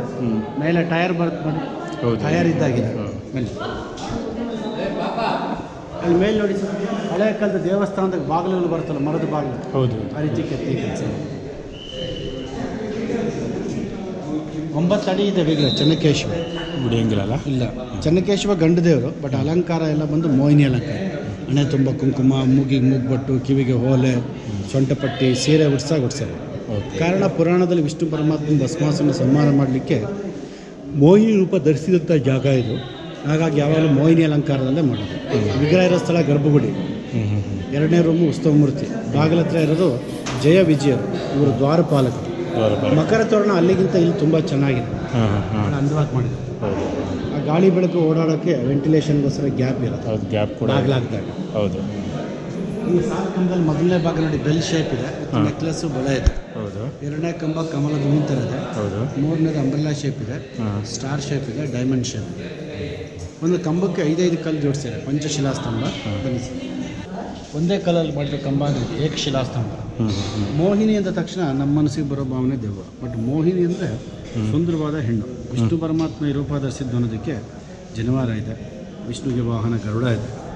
ಹೆಣ್ಮಕ್ಳು ಸುಂದರವಾಗಿ ಕಾಣಬೇಕಂದ್ರೆ ಲಕ್ಷಣಗಳಿರ್ಬೋದು ಸಾಮುದ್ರಿಕ ಲಕ್ಷಣ. ಐಬ್ರೋ ಬಂದು ಕಾಮನ ಬಿಲ್ಲಿನ ಥರ ಇದ್ದರೆ ಕಾಮಾಕ್ಷಿ. ಕಣ್ಣುಗಳು ಮೀನಿನ ಆಕಾರದಲ್ಲಿದ್ದರೆ ಮೀನಾಕ್ಷಿ. ದುಂಡು ಮುಖ ಇದ್ದರೆ ಚಂದ್ರಮುಖಿ. ಭರತನಾಟ್ಯ ಮಾಡಿದ್ರೆ ಸೊಂಟ ಚಿಕ್ಕದಾಗಿದ್ದರೆ ಸಿಂಹಕಟ್ಟಿ. ಸೊಂಟ ದಬ್ಜಿಟ್ಕೊಂಡು ಕೊಂಡ್ರೆ ಆನೆ ಸೊಂಟ ಕೋಲಿಸ್ತಾರೆ ಗಜಕಟ್ಟಿ. ಆ ಸುಂದರಿಯ ಒಟ್ಟು ಮುಖ ಸೊಂಟದಲ್ಲಿ ತೆಗೆದು ಸಮ ಇರಬೇಕು. ಮೂಗು, ಹಣೆ ಮತ್ತು ಎಲ್ಲ ಸಮ ಇರಬೇಕು. ಹೆಣ್ಮಕ್ಳ ಪಾದ ನೋಡಿ ಗ್ಯಾಪ್ ಇದ್ದರೆ ಪದ್ಮಪಾದ ಫುಲ್ ಫ್ಲಾಟ್ ಇದ್ದರೆ ಗಜಪಾದ. ಹೆಣ್ಮಕ್ಳ ಕಾಲು ಬೆರಳಲ್ಲಿ ಎರಡನೇ ಬೆರಳು, ಎಲ್ಲ ಬೆರಳಿಗಿಂತ ಉದ್ದ ಇದ್ದರೆ ಇಡೀ ಮನೆನ ಕಂಟ್ರೋಲ್ ಮಾಡ್ತಾರೆ, ಮನೆಗೆ ಬಾಸ್ ಅಂತ. ಇಲ್ಲೆಲ್ಲ ಗ್ಯಾಪ್ ಇದೆ ನೋಡಿ ಸರ್. ಹ್ಞೂ ಅಷ್ಟು ಮೈನ್ಯೂಟ್ ವರ್ಕ್ ಇದೆ ನೋಡಿ ಇದೆಲ್ಲ. ಮತ್ತು ಆ ಸುಂದರಿಯ ಒಟ್ಟು ಮುಖ ದೇಹದ ಏಳನೇ ಒಂದು ಭಾಗ ಇರಬೇಕು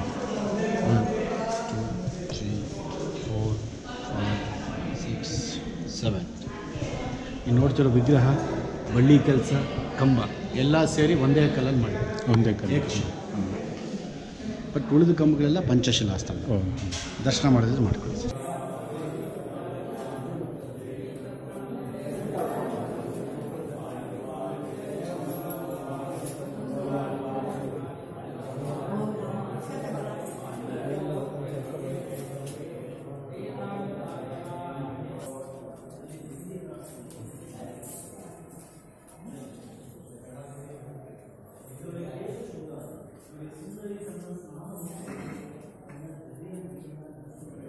ದೇವರಿಗಿಂತ ದೇವರಿಗಿಂತ ಭಾಳ ವರ್ಷಗಳಿಂದ ಭಕ್ತಾದಿಯೊಬ್ಬ ದೇವರ ಹೆಸರಲ್ಲಿ ಪಾದಗಳನ್ನು ತಯಾರಿಸಿ ಕೊಟ್ಟಿರ್ತಾರೆ. ಎಷ್ಟು. ಹಳೇದಂತ ಇದೊಂದು ಐವತ್ತೈದು ವರ್ಷ ಹಳೆಯದು ಅಂತ ಹೇಳ್ತಾರೆ.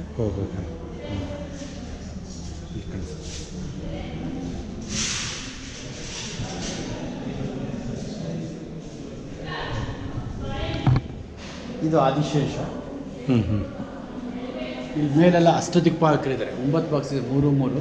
ನಮ್ಮ ನೇರಕ್ಕೆ ನೋಡಿ ವರಾಹಾವತಾರ ಇದೆಯಲ್ಲ? ಹೌದು. ಒಂದು ಬಾಕ್ಸ್ ಬಿಟ್ಟರೆ ಉಳಿದ ಎಂಟು ಬಾಕ್ಸ್ ಬಾಕ್ಸಲ್ಲಿರೋದು ಎಂಟು ದಿಕ್ಕನ ಕಾಯಿ ಅಂತ ಆಗುತ್ತೆ ಕಂಬ ನೋಡಿ ಸರ್ ಡೈಮಂಡ್ ಶೇಪ್ ಇದೆ. ಹೌದು. ಸ್ಟಾರ್ ಶೇಪ್ ಇದೆ. ಅಂಬ್ರೆಲ್ಲಾ ಶೇಪ್ ಇದೆ. ಫ್ಲವರ್ ಥರ ಇದೆ. ಬೆಲ್ ಶೇಪ್ ಇದೆ ಇದರಲ್ಲಿ ರೀತಿ ಗೆರೆಗಳಿದೆಯಲ್ಲ ಒಂದು ಎರಡು ಎಂಟು ಬಂದರೆ ಹದಿನಾರು ಬರುತ್ತೆ ಮೂವತ್ತೆರಡು ಬರುತ್ತೆ ಇದರಲ್ಲಿ ಅರವತ್ತ್ನಾಲ್ಕು ಬರುತ್ತೆ. ಇದಾಗಿಲ್ಲ.